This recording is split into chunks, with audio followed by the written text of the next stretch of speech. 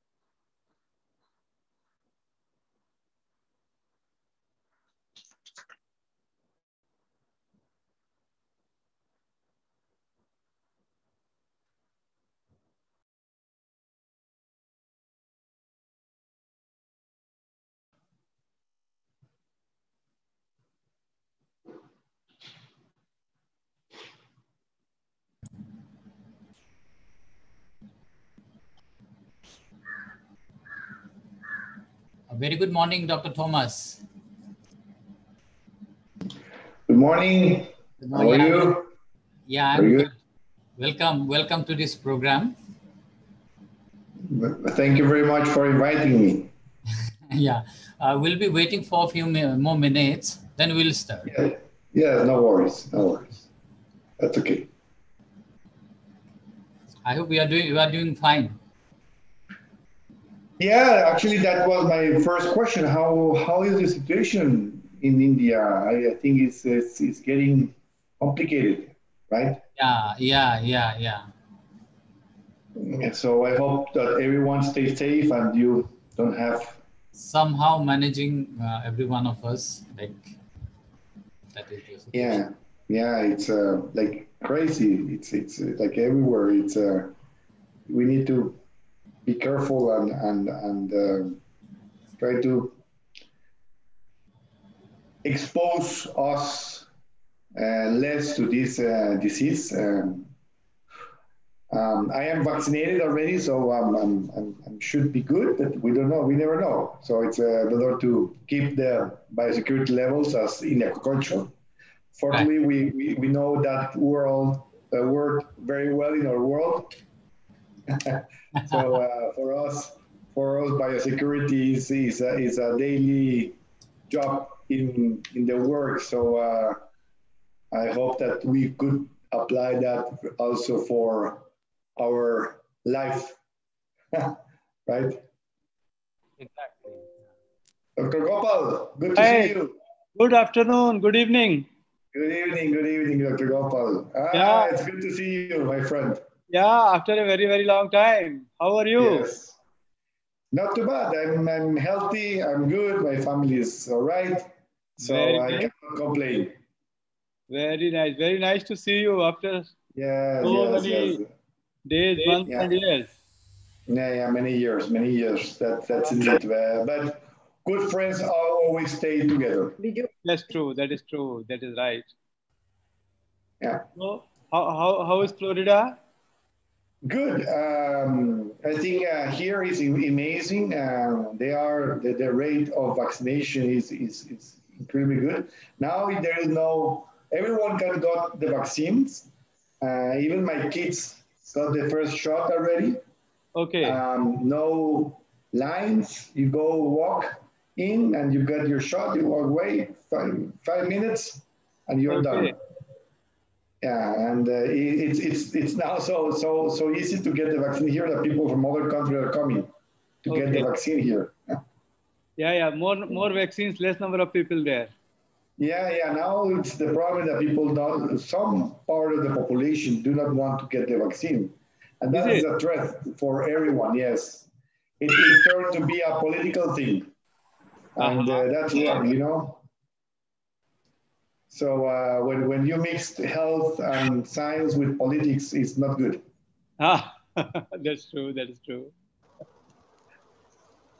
right? So, um, but no, no, no, it's, it's, it's good. Uh, the cases are going down.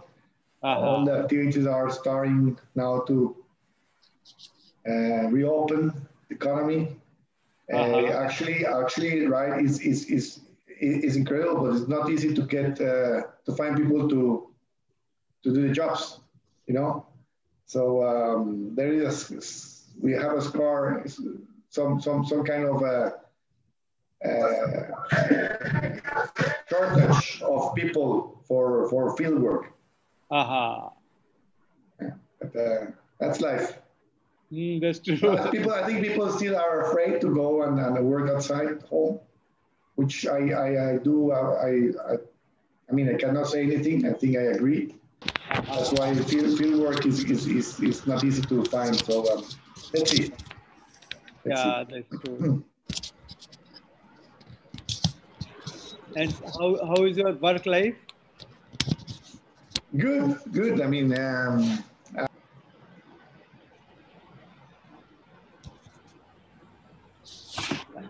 You are muted. Thomas, you are muted.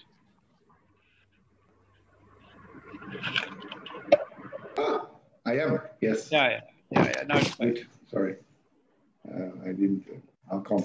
Okay. No, uh, the, the, in Regal, we are doing well, growing uh, uh, in terms of, of economical value. Okay. Um, already with, with breeding programs in each of the countries where we operate uh, for black and red tilapia. On SyAqua, also very good. A lot of uh, success in China. We had a very good momentum in India, Mhm. uh, but now with the situation, of course, all the all the cells are pushing down, unfortunately. And then uh, you know the the in India when you want to sell breeders, uh, they have to go through the quarantine facility in, in Chennai, Hmm. uh, and they are going to close and shut down for, for almost two months. So uh, I think uh, that will affect us, of course, a lot in the cells. Okay. Um, and also, of course, it seems that in the hatcheries, people are also reluctant to go to work. Uh, farm farms are not buying the, the seed, the post larvae, because also they are afraid. So it's it's it's a tough it's tough situation in India Hmm. uh, due to the, the, the health situation. Uh, but China, Indonesia, Thailand, and in, in and Malaysia, they are doing well. We are start now our business in, in, in Egypt. I think it's growing and well, small things in Europe, small thing in, in, in Middle East, but well, working every day to be better. Yeah. that is so great. That is so great. Listening about your development, growth, and uh, business and sales Yeah. and marketing and everything, including science. Yes. Yes. So, What so about you? What, what, uh, so you, you are now the big guy now in England, right? Very good. It's, uh, it's, it's, I, I, you, you deserve it, of course. Yeah. yeah, I, I thought that when when we are having the friends like you, we can interact and uh, our students and faculty members will also get the exposure and advantage of your uh, experience. Yeah, actually, uh, that is a, ver- it's, a, going to be a very broad um, presentation on, on, on the industry. Uh-huh. Uh, of course, there is a, there is many things, details in technologies and, and, and management that uh, I, I, I, I have to skip. uh-huh. I, I, unfortunately, for in one and a half hours, it's not possible to go into much details. uh-huh. Uh, but at least uh, to give your students a, a sense of how is the situation, okay, how, how the industry actually boosts the aquaculture in the world Uh, in terms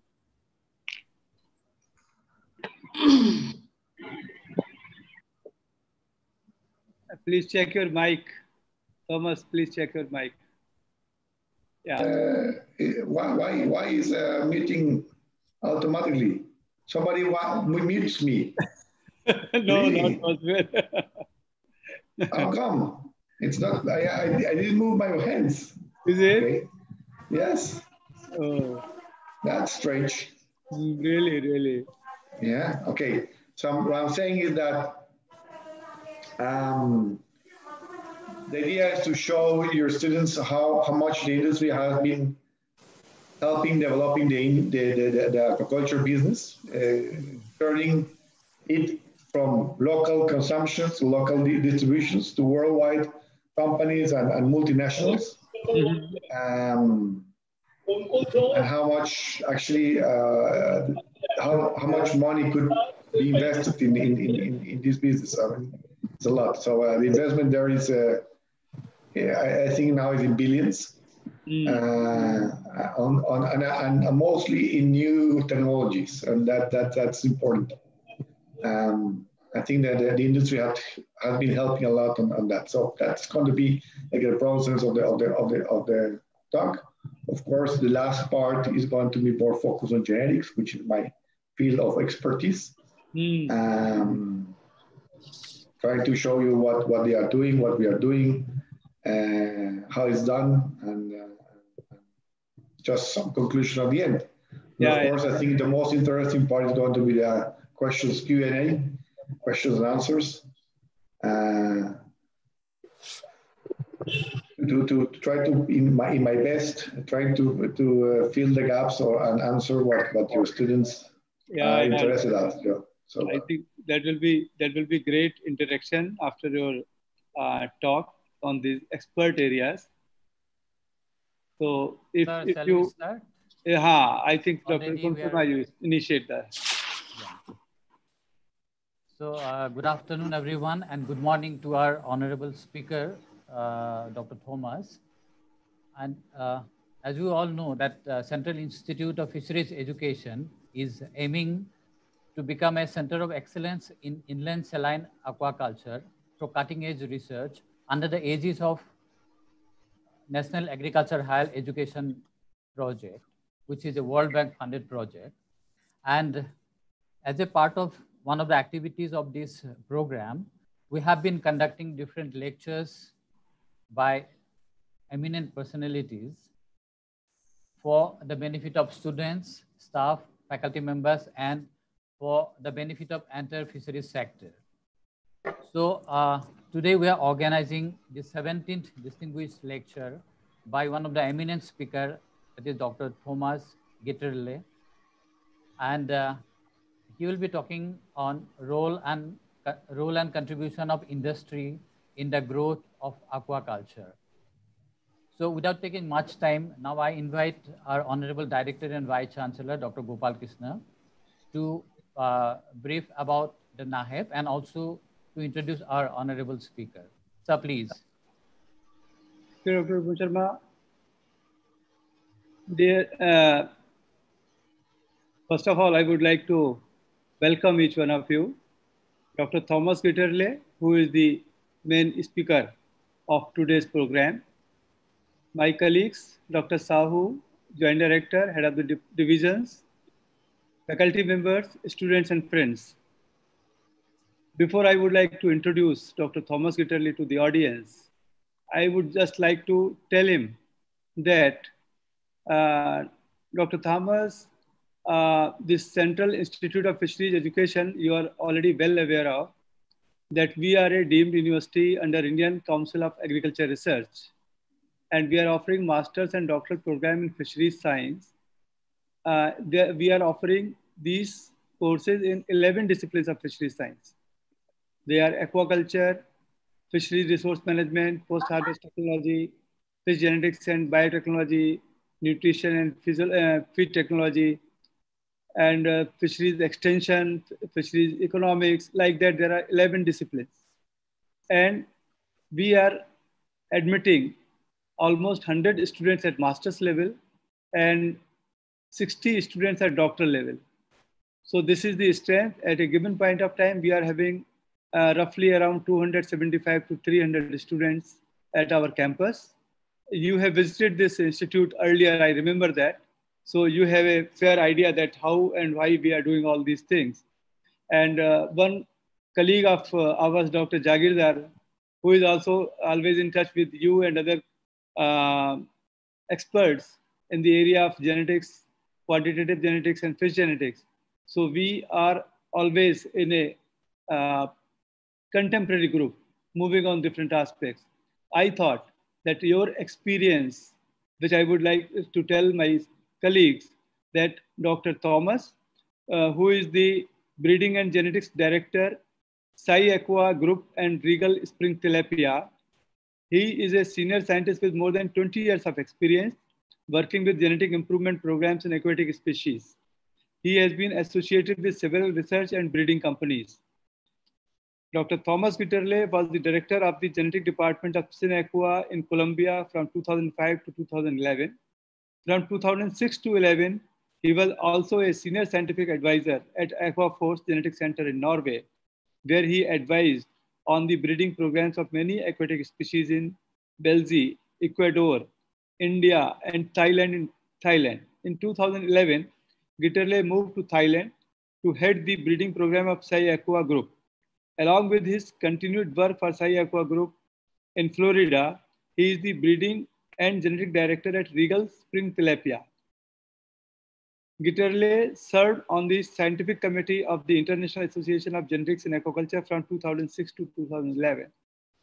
Over the course of his career, Dr. Gitterle has always applied advanced technologies to quantitative genetics and genomic selection, which is his expertise. One of his special interests in the development of new ways to accurately select for disease resistance. Gitterle is the author of more than 20 scientific articles in index journals and two books of chapters. He has also been a special guest speaker at over 50 international symposia. Dr. Gitterle received his bachelor's degree in marine biology and a doctoral degree in selective breeding in aquatic species from the University of Life Science in Norway. So this is a brief introduction of Dr. Gitterle. Other than that, I have personal discussion with him. We were together in Norway for almost uh, more than two months together, and he was there for more than a number of years. And uh, uh, he's a very good friend of mine. We keep interacting with each other. We know that how the things develop, and using the scientific knowledge for the development of business and entrepreneurs, and for the betterment of the cause of the people who are making the efforts to get the uh, nutrition to be given to all so that is something very, very different. And what I am very sure about is that with his scientific strong background and his field of work as a entrepreneur and as giving the technology to those who wants to use them for the benefit, this is a rare combination. So I thought that our students and faculty members will get the advantage of his knowledge. Dr. Gitterle uh, we are running a project which is World Bank funded project. Uh, it is on national it is National Agricultural Higher Education Project, and in this we are targeting to develop and transform the technology, energy efficient technology for the uh, inland saline groundwater, where we are we have given the technology of developing the economy. So that is the objective. And with that, we want that there should not be environmental degradation. The technology should be economically beneficial to the farmers who are taking it up. And further to that, we want that this technology and the industry will come together and so that academia and industry grow together. So that is the objective. So with this brief introduction of the project, what we are having, then the students who are here and the faculty members who are here, they would like to listen from you that how you have applied the scientific knowledge for the development of the industry and how it is growing because that is the sunrise sector and we can transform the areas which are not suitable for aquaculture because this uh, because the waters are not that good as far as the aquaculture is concerned we want to develop these species, we want to develop these strains so that that becomes beneficial to the farmers. So I would like that you please throw light on these areas and the topic which has been given to you, uh, you may uh, go here and there, keeping in mind that they are masters and doctoral students, they are the faculty members, and they will be very happy to listen to you. And maybe after that, would like to interact with you on certain points. So welcome again and would like to give you the mic so that you carry on your deliberation. Thank you and welcome, Dr. Thomas. Thank you. Thank you very much, Dr. Gopal, for the nice words. Um, it's of course uh, certain that uh, we have had a long story together and a good friendship, but also not only that, but a, a very success, uh, I think, careers in our fields. Um, we, with our interactions with other institutions, have been able to, we, we have been able to actually um, make many things for the industry, not only Uh, in terms of uh, economic, but also on research and helping others to be successful. And that's, that's probably what is most important in, in, in this field. Um, thank you very much for this invitation. I am honored to present this talk, uh, this lecture to, to your students and your staff. I know that this uh, group of people is very high educated and uh, I hope that they don't get disappointed with, with the talk uh, because I'm going to cover a lot of topics uh, and uh, focus only on genetics uh, deeply. Um, but I think it's important also to everyone to start knowing what what is. Um, there is more on the scientific topic. Uh, okay. there is somebody talking. okay. Um, um, it's important that uh, for some of the history and what have been the, the most contributions and towards what areas is the industry going. That's, I think to me, it's important because towards, we need to, to focus the research uh, on what the industry is needing, on the needs of the industry. And that's important for, for, for researchers and students and uh, uh, universities is to really focus the research not only for publications, because sometimes, and then I, I, is, a, is a constructive critics, sometimes universities focus more on the paper and then rather than doing some complete research that could be used by the industry. That is something that, as Gopal, Dr. Gopal says, is very important to make this match and, uh, and, and help the development on the aquaculture in general. okay. Uh, thank you for all the people that uh, are listening and, and, and, and uh, please, after the, this presentation, do, do not hesitate to, to make all the questions you could. I'm going to try my best to answer them. Um, probably not all, but uh, I hope that I could answer some of them. so I'm, I'm going to now to share my screen. Let me know if, uh, oh, sure. You see it? Yes. All right. Okay. Um, okay. Um, okay, the, the, the, as, as Dr. Gopal said, the, the lecture is going to be on the role and contribution of the industry in the growth of the aquaculture. Um, go just all the lecture content. Uh, uh, I'm going to go through a very, very deep, uh, uh, fast on the aquaculture stages. Cap capture versus aquaculture, I think that's important that we could talk about, about the transition, offer and demand of the volumes on, on, on um, uh, aquaculture uh, uh, products, investment and the big jump when we start really producing uh, to, to fill the demand that the capture is not, is not uh, doing. Research and development to meet demand. I think we are going to, I'm going to talk about husbandry, health, feed and the seed. And when I talk the seed, I talk about not only the hatchery technologies and husbandry, but the genetics.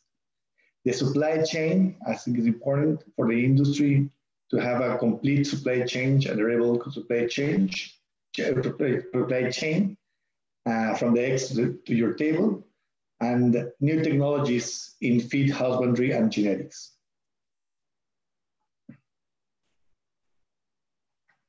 Okay, you, you probably know that much better than I. Agriculture started a long time ago, and it, it, most, it mostly was to supply local markets, right?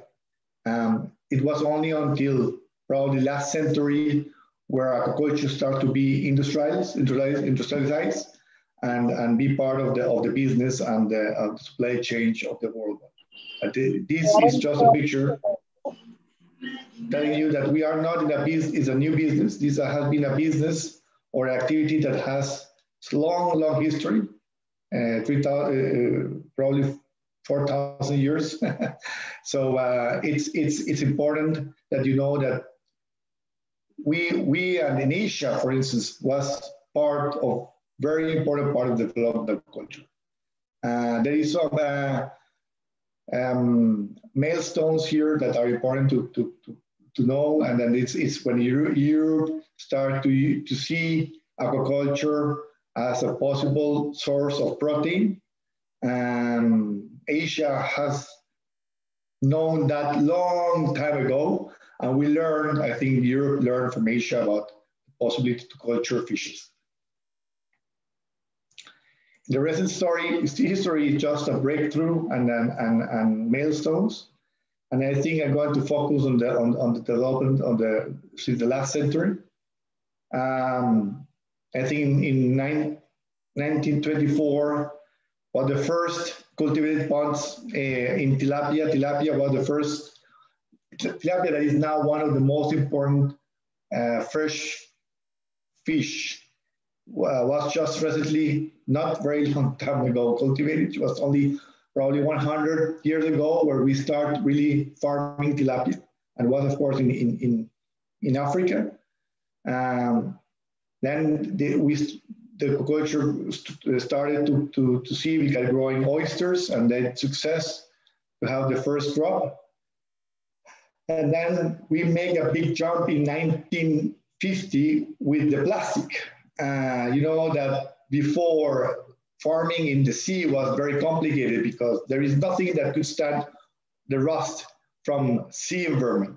And the plastic actually gave us, and I don't like the plastic as environmental part, but I, I, I do appreciate that with the plastic, we could actually solve many of the big problems in the industry where we could actually um, make nets and cages and, and, and, and, and, and uh, farming um, procedures and, and husbandry that um, allow us to, to fish and develop um, and to culture the fishes in the sea without having rusting problems. in, in 1954 was developed the first moist feed for fish and uh, that's a very big breakthrough because before that uh, was even not, we, we didn't feed the fishes or there was just uh, um, uh, giving very uh, easy or and, and, and, and,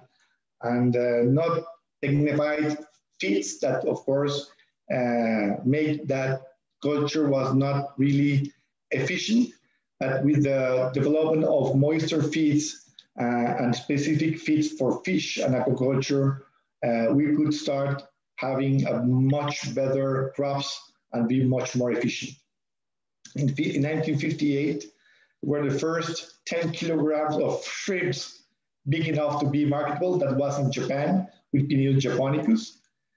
Uh, and in actually in, in 1959, the first cages of salmon was uh, floating cages made by wood uh, and they were the first crop on, on, on farmed salmon in, in, in the world.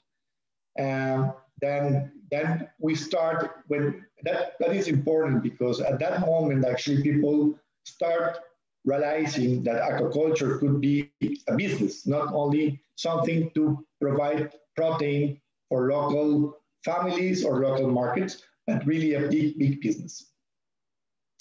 Then technologies for, for farming uh, uh, uh oysters. Um, salmon farms starting in 1970. In 1971, it was the first, first family-based breeding program in salmon that was in Norway. Uh, what was now now is well developed what now is known as Nofima Marine, uh, and, and that actually helped a lot the salmon industry to become what is now uh, a huge industry. is is really how they they could um, start having a better fish and with new technology in feeding in, in feed, feed development, they could uh, actually start the, the, the salmon farming in, in an industrial scale. Uh, because as, I, I'm going to talk afterwards, if, if the demand is there, but the supply of raw material fish is not there, we cannot make a business. But the fish needs to have reliable supply of fingerlings and feed. Without these two things, it was impossible to make a business. So the feed and the hatchery technologies were two main things or important things that now we see it very common, but that was the two main supplies that makes agriculture to be a big business. Uh, then in 1980, we start or they start the first uh, development on the RAS system, uh, aquaculture um, uh, recirculation systems.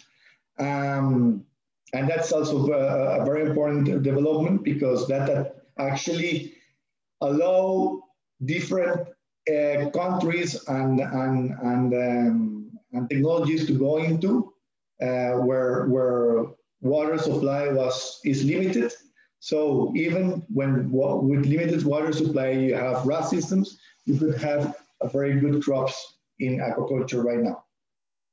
In 1985, probably you already know, started the, the Tilapia GIFT project, where the aim was to uh, mimic and uh, try to do the same as what's done in salmon in the 70s, to have a uh, seed supply that are genetically superior that could help the farmers to have better crops and better and better incomes. That was done for again uh, a way to help farmers, the small farmers, but at the end uh, it helps more to develop tilapia as a big industry and, and, and, and, project. Um, in 1990, 1994, this is another very important uh, milestone is that they could close the cycle from Vannamei. Uh, that means that before that, all the seed produced for the big ponds in, in South America was done with wild broodstocks. That the same thing that was done in, in until recent years in India and in Asia was done was done in with Vannamei in the, 19, in the 1990s when they could actually close the cycles and start a real family-based breeding programs. Uh, that also was a big, big, big change in the shrimp industry. It was so big that actually Vannamei, Vannamei is now uh, the, the predominant species in, in, in shrimp aquaculture. I think it's maybe 90, 85% of the total uh, shrimp culture is Vannamei. Now, uh, in, in, in, in, this century, we start uh, getting some new technologies and it's more on, on, on farming and how could be monitor the farms better and make it more efficient with the feed, feeding, with the feeds and the feeding regimen. Yeah. Um, they were acoustic telemetry to, to measure the fish behavior, for instance, where you can identify each fish and actually feed the animals based fish the the the the, the uh, feed the fishes based on their real demand and needs. Uh, you start using uh, artificial intelligence uh, as a tool of, of, of feeding the animals. Um, now in, in, in, in salmon, these huge self-propelled farms that go into the sea, in the, in the, in the ocean, uh, where you could have less impact on environment and less, uh, of course, uh, uh effects of diseases. and then we start also with the, with the inland, these inland uh, salmon projects. Uh, the cages were a big breakthrough, uh, but now salmon industry realized that uh, there is a manufacturer they cannot control in the cages and sea. Uh, they are exposed to all environmental uh, effects, not only uh, the, the, the, climate, but also the diseases. So they are, the, the trend in salmon is not going to be inland, to go to inland. Course, that, that, that needs a lot of investments and technologies to be able to produce salmon inland and at the same at the same volumes because again you could produce a lot of things inland with a, in a small scale but we are talking about the scale of salmon production which is maybe 1 million tons per year so uh, or even more. So um, imagine that produced in the inland so you need to have a very very well established and efficient uh, RAS systems and, and technologies to control temperature, temperature, salinity, and also all the feeding, right? Um, now, in 2020, the goal is, again, is uh, monitoring and working more towards the individual needs of the fishes, not seeing the, the, the, the, the, the culture as a whole cage, but individual animals. Then you can monitor each animals every time and see if the animals is growing as we expect, or if not, start to cooling those animals that will not meet your needs. Then you can uh, uh, start saving a lot of money and, and, and reject animals that won't be successful or produce what you need uh, before the harvest. So you don't spend feed and time on animals that are not going to be productive. So this is the, the, the, the, the timeline, in the breakthroughs in the last century that actually helped the industry being what is right now.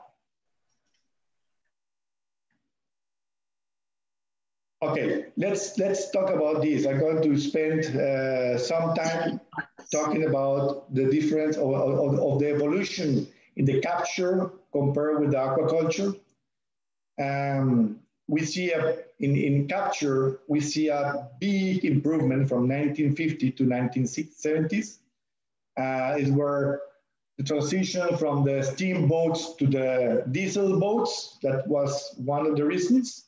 It's technology again. All the Unfortunately, the wars are horrible, but, but they give us or they bring us a lot of technology to the civil world, to us as, as a, consumer. So all these ships that was made for the Second World War, this technology actually help the fishing industry to have more efficient boats and start fishing in a better, in a, in a, in a more industrial way. So the big jump uh, from the 1950s to 1970s actually was based on, on, on better boats and, and, and, and more efficient uh, fuel, fuel use. And we have to bear in mind that the, the gas and oil at that time was very cheap. And of course, that it, it, it boost the construction and the use of, of fishing boats. Now, what happened? The energy crisis in the 1970s. So where you have this big crisis and, and, and, and gas and, and energy became very expensive compared with what we have. So it could be one reason of this flattening in the, in the, in the capture during those years. Uh, of course, not only because the boats or the fishing was more expensive um, and profits were less, but also in general, the growing, the middle class growing population in the States and Europe and the world start having economic problems, right? So they were not, and, and, and you, you might not feel that in India, but uh, in, in Europe, in, in, in, in, uh, in the States, fish products are a little bit more of a luxury, you know, it's, it's, it's, it's, a, it's, a, it's, it's an expensive food. So if you have less income, you try to use or to eat chicken or other things uh, besides uh, that could they are less expensive. And that could be another reason of this flattening. The game is starting, it started uh, growing again with new technologies like aero, Gecko radar. So the new boats start to implement a lot of new technologies to be more efficient in the capture. And that increases a lot the capture again. Aquaculture, you see very low, very small growth compared with, with, with, with the capture. But the good thing of the capture is that they created the demand.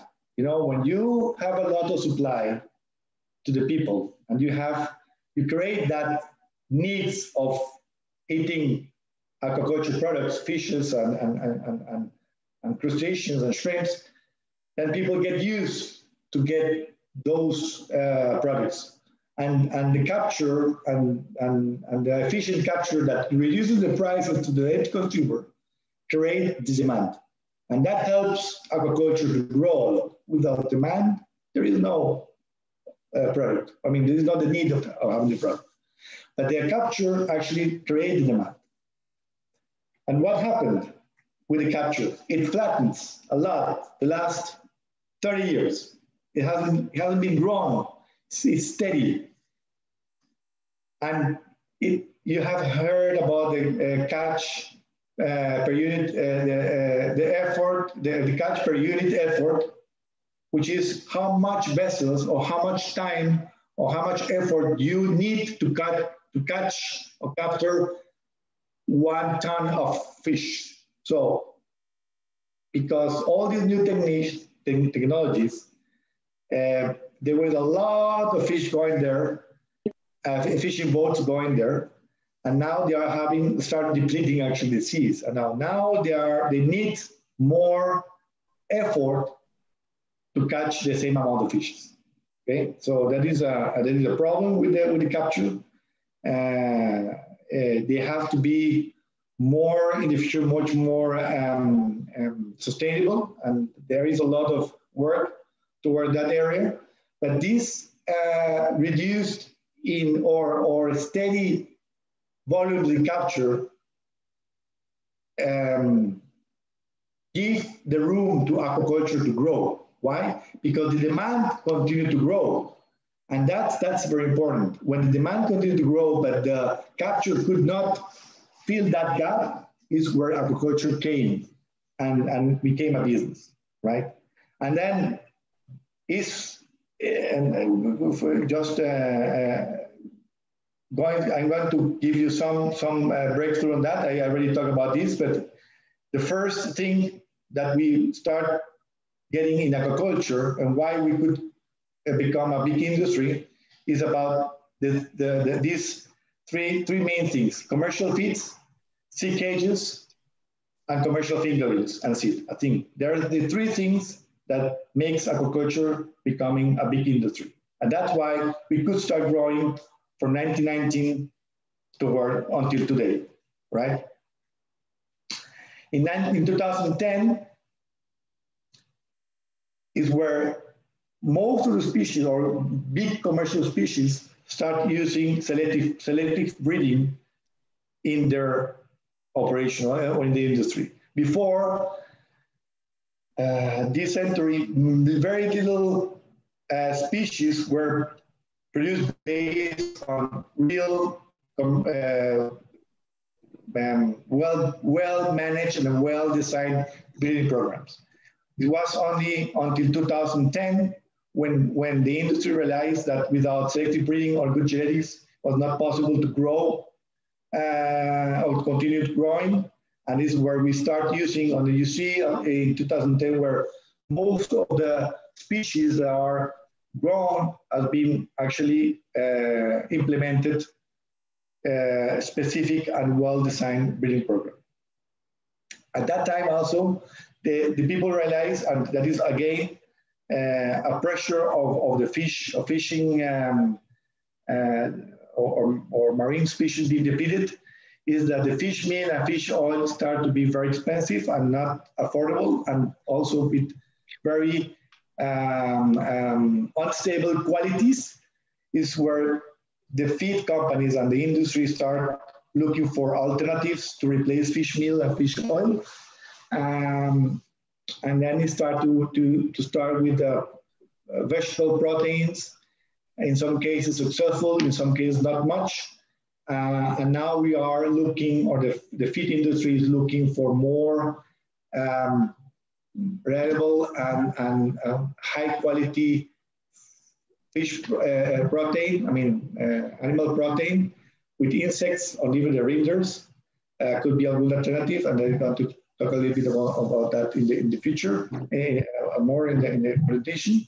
But yes, fish um, uh, aquaculture feed industry is now looking for better alternatives for, for uh, ingredients, um, more towards specific amino acids and, and, and soya, so, uh, specific uh, um, uh, components that are having better nutrition and less anti-nutritional effects into the animal. So that's, that's also boost a little bit the, the production from 2010 to 2020. Uh, and then just a, a, big overall, and I think the, the, the, the inflection point uh, when, when aquaculture took over or started being more important than the capture was in 1990. And I think, and then of course I could be biased because I'm a dentist, but I think the main breakthrough was because the, the, the, the implementation of very specific breeding programs. When you have a, a, very a good seed and a four, I mean, when you have a, um, supply, a constant supply of good quality seed is, I think that was the main reason when aquaculture really started. Because for, for us as industry, and I told you about my personal case in all the industry I've been working, the worst thing you could have or is having your ponds or cages empty because you don't have the seed to start. That's a, that is the worst thing you could have. Of course, you could have problem with the feed, but you could have alternatives. But you don't have the seed to start. I mean, there is no no point, no industry without the seed. Okay, so closing cycles, reproduction is probably was the first or the most important um, breakthrough or, or, success to make agriculture uh, at the industry we have right now. Okay. All right, okay, let's talk a little bit of supply and demand. And that is also a play, uh, um, a thing that, that is very important why aquaculture grew and growing still so high. You see, I probably have seen these, these, these charts before, where of course you have uh, a higher supply and a lower demand. You have a lower uh, uh, prices, where your demand increases and your supply decreases also, you have a short shortage. Or when your supply increases and your demand decreases, you have a surplus. So the, the, the equilibrium is where you have the prices, and every product tends to, to toward the equilibrium, where the supply and the demand are most the same. When this, the demand starts, and then, then this equilibrium could change. The equilibrium changes when the demand starts steady to be higher than the supply, and then you get a new equilibrium point, right? But because the supply should always try to, to meet the demand some ways this this point of of um, um, equilibrium could change toward the years, but normally it tends that the I mean in uh, every product in every industry, the supply tends to reach the demand. When the supply starts to be higher than demand, nobody wins because the prices start to going down, right? And nobody wants that. But in agriculture, and that is interesting, the prices have been going up in general in this century. Uh, that gives us a good view that the demand is demand. When supply starts to higher than demand, the demand is in general always being a little bit higher than the supply, right? Otherwise, the, the price will be uh, steady. But this is a fish index. It's not in, in prices because, of course, you said, okay, um, um, um, there is a inflation point here. Of course, in general, everything is going more expensive. No, but this index used by FAO is in general based on um, prices without taking into account the inflation. And now, as another important thing, when the money, when, when, when the prices are going up and, and aquaculture is going, tends to be interesting, and people see that in the industry, I'm not talking about small farmers, but the industry and the big investments, portfolios, which is also important to, to, to talk about it, and investments uh, portfolio that they are always looking for new opportunities. When they see that something could be interesting in terms of profit, the money is there. I tell you very, very, very clear. Now, the portfolio are looking for many possible projects in, in, in, in to supply the, the feed demand in general. So they are looking for new projects, they are looking for new opportunities. And when, when they see a good opportunity, the money is there, right? Because they are looking for that. So if you, if you, if you, if you as uh, aquaculturist or investor, or, or, or you have a good idea in your research, and you could sell that and you could prove that that may have some profit, the money, for sure, you're going to get money. Money, people, uh, this kind of money is always there looking for new projects. And that actually helps a lot. And it's again, one thing that boosts our culture. I say, great, I, I want to fulfill the demand, you know? And my, my, my, my, boat, my fishing boats are not filling up my, my processing plants. I invest a lot in processing, but now my fishing boats are not my capacity, my installed capacity, right? I have a lot of uh, uh, installed capacity, but my fishing boats are always taking more time to, to, to bring me the feed, the, the fishes. So I need to have a steady and reliable supply from the raw material. And that's why these people that and in agriculture started with the main with the same companies. Most of the companies they have processing plants that have been supplied by by the, the capture and fishing vessels. They start thinking on having their own production, because again, if for us as farmers, the worst thing is not to have the seed for the processing plant. The worst thing that they have they can have face is not having the raw material for processing. The same problem. You can you spend a lot of money in people and energy, but you don't have anything to process, you are losing money. Okay? So they start investing money in farming. In general, shrimps, uh, salmon, tilapia, whatever they need to, to, to fill up the, the, the processes, right? But these uh, big cages or big farms need to, to be filled up again. I think again, they said, okay, I need, I, I want to produce uh, salmon, shrimps to my product, and I build the farm, but I have to fill up the farm. Again, I need to have the hatcheries to supply, big hatcheries, and the dedicated feed mills for aquaculture. And that's also a very important thing. Before, most of the, the, the feed companies in the in last century, they, they, they, have, they, they produce a lot of feed for poultry, for pigs, for dairy cattle, and they have a small part for aquaculture, which was in general the same formulation with a little changes, uh, but not very much uh, research on that. The big changes was when these big companies start producing big amount of fishes and shrimps. Okay, now this feed didn't work anymore. We need to make a specific feed that meets the requirements of each of the species we are working with, right? We cannot work with the poultry feed anymore. We cannot and, and, and just change a little bit of things.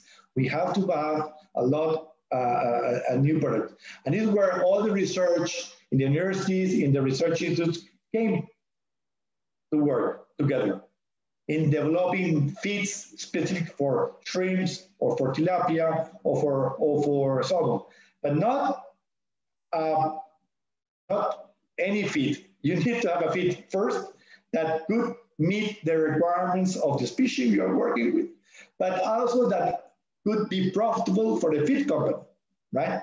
So that is a that, that is an antagonist uh, uh, expression because the feed wants to have a good feed, but not investing a lot in raw material. I tell you because uh, I work I worked before with feed, feed, feed companies, and they is is is a, is a daily uh, um, fight between quality and raw material prices.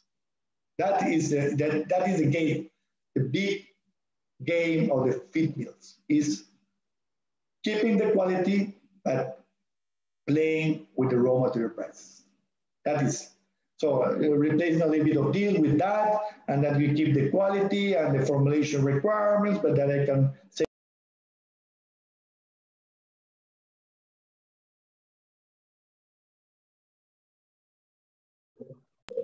I, have, I was muted.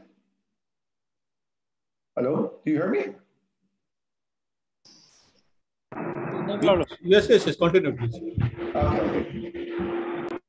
All right. So uh, that is for the for the feeds. I mean, the the the the, the uh, these big companies need to have a very good feed. So they create that in that way they they started producing their own feeds. But they realized that was not so easy. So feed companies like Cargill, uh, CP, uh, uh, Uh, uh, Thai Union, all these big feed companies saw the uh, aquaculture feed as a big opportunity to invest. And they create dedicated mills for that. And they, they are very successful because actually there is a big difference between the, the, the aquaculture feeds and the livestock feeds. The livestock feeds is a, is a recipe. Everyone can do it.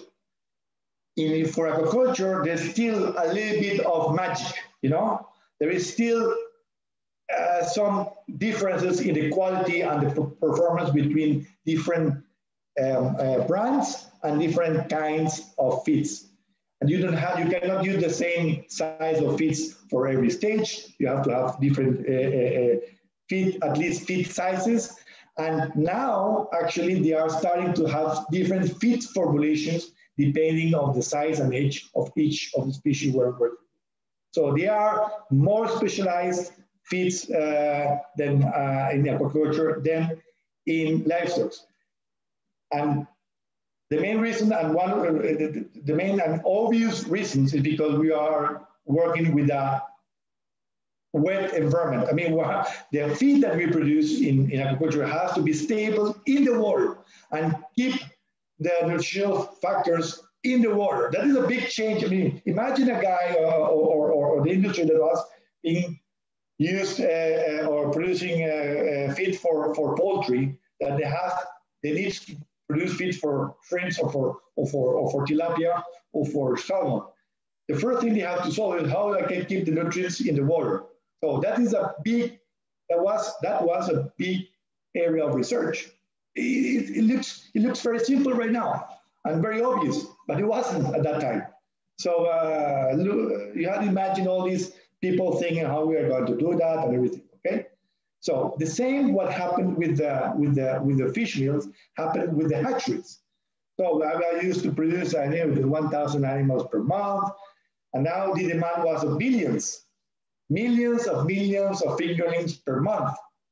So how could we scale that in a short time? And that to me was one of the of the of the bottlenecks was having enough fingerlings to start.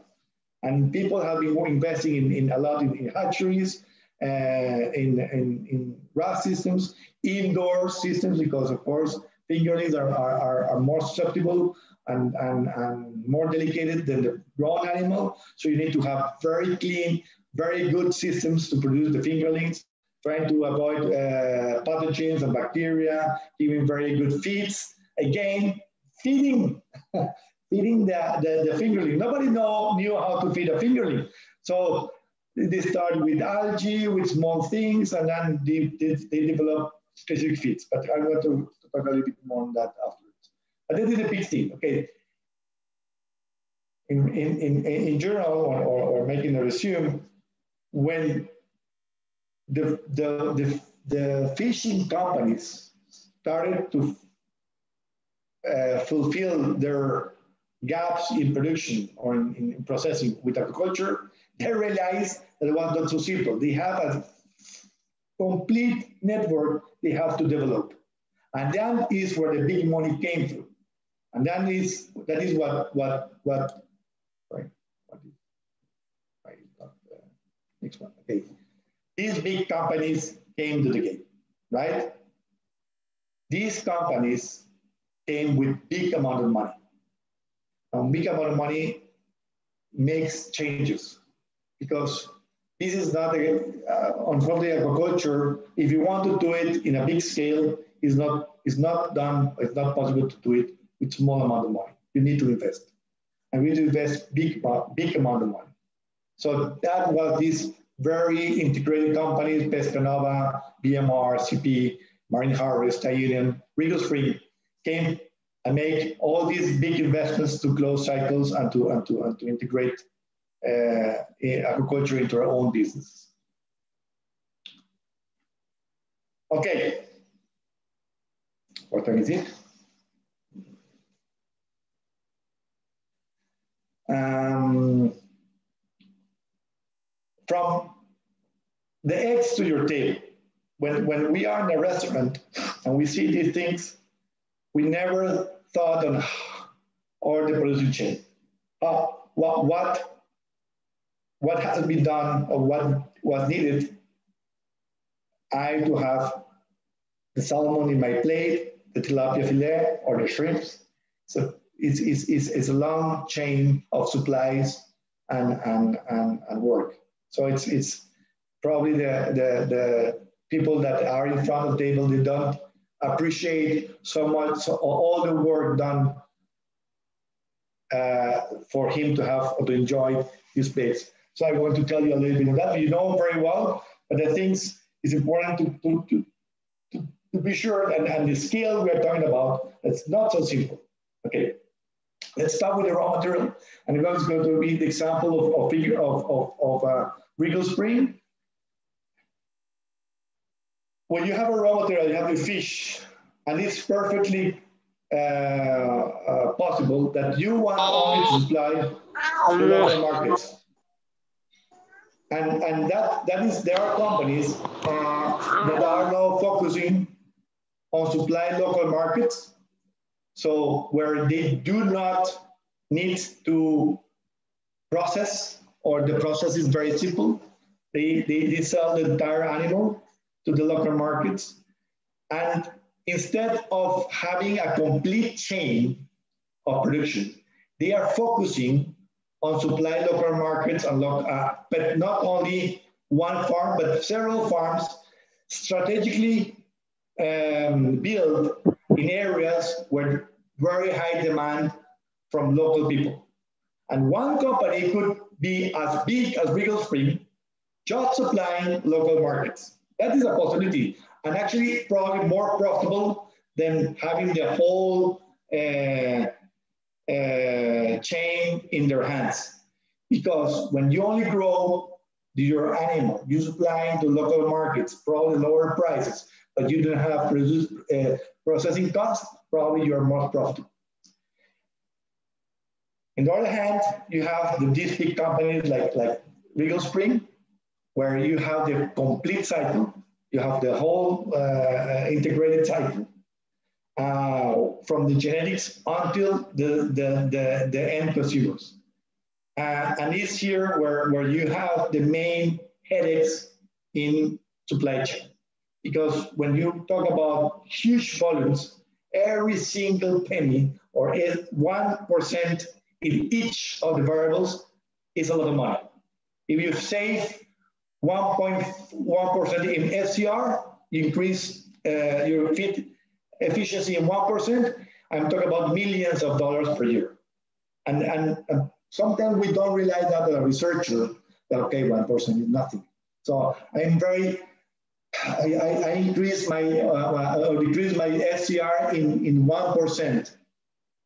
And to me, it was not a big success when you, when you do the research in, in, in the university. Uh, this feed reduces, or this, the feed reduces, or my husbandry method reduces 1% the FCR, or the genetics reduce 1% FCR. To me, was not a big success. But if you transfer this 1% in 90,000 tons per year, is a lot of money. Believe me. So that are the changes and the things that we have to think about it as researchers. Is every small change at that scale is important, right? So the logistics, just Regal Spring, not other companies that are probably bigger than us. But we produce 90,000 tons per year, right? In one farm, this is the, the whole company, in one farm in, see, Indonesia, we have to harvest 80 tons per day Imagine harvesting 80 tons per day. You need trucks, you need people, you need the quality of the animal. The animal needs to uh, reach alive to the processing plant, from the lake to the processing plant. Uh, for instance, in, in Indonesia, is a three or four hours truck journey where the animal has to be alive in water tanks, three hours, driving into the mountains in Indonesia to reach the processing plant, right? So the big logistics is oxygen, is people, is quality. No, it's, it's everything, you know? And, and every part of this is a chain in production that could be always improved, right? It's a lot of research. For when you talk about aquaculture, people are talking about, okay, how I farm, how I do feed it, and genetics. But when you talk about the industry of aquaculture, is much more than this. And the industry is logistics, is transportation, is how to keep the animal alive in good quality. The meat has to be good quality at the end because a company like Regal Springs, they sell to very high quality or standards qualities. So an animal that get damaged during transport, we cannot sell that animal anymore. So this kind of, of, of activities and, and research and, and, and, and um, uh, uh production has also to be or taken into account in, in the research in the future. Again, you, you can have a produce very good feed, but you have to deliver 130 tons of feed every day. And how you do that? With boats, then with auto, auto feeders. Uh, you have to keep the, the, the feed in good quality. You have to store it correctly. You have to deliver correctly, and you have to deliver in some way you, you make profits and you don't harm the ferment, right? So the feeding, only the feed has to be a good, uh, has to be very good in quality, but the, how you deliver your feed is very important right now. It's, it's, it's delivering and feeding technologies. That's it is becoming more and more important in the industry because even though you could have a very good quality feed. If you deliver them wrongly, you are, you are, you are not going to have good success, right? Thermal seed and fingering, the seed. Again, we need to produce and transport 120,000 fingerlings per day. Imagine that. We have to produce 120,000 fingers per day. That's a huge operation, right? Not only having the eggs or the fingerling alive, you have to transport them alive. And, you, and, and, and they have to reach the cages in good conditions, otherwise they will die. And 1% of 120 animals dying per day is a lot. It's a lot of animals, right? A lot of money. So again, at that scale, every single percentage is important, okay? Then you have to operate the farm. You need boats, staff, day and night, feeders, energy, how you supply the energy to the lakes. I mean, there's a big operation. There's a lot of things around aquaculture that probably we are not thinking about, but is there and is needed.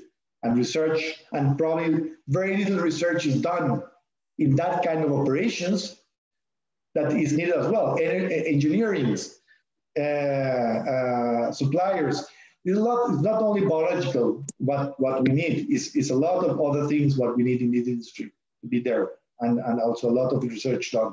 Because that the industry has, in some way, has, has done that by themselves because they need it, not because they wanted to do it, it's because they need it. So a lot of research inside the companies to meet and, uh, uh, uh, solve all these issues. And, and probably the academia could start looking at these things to help us to solve the problems, right? Okay, a little of research of development. I think probably I got to talk a bit on, on the progress.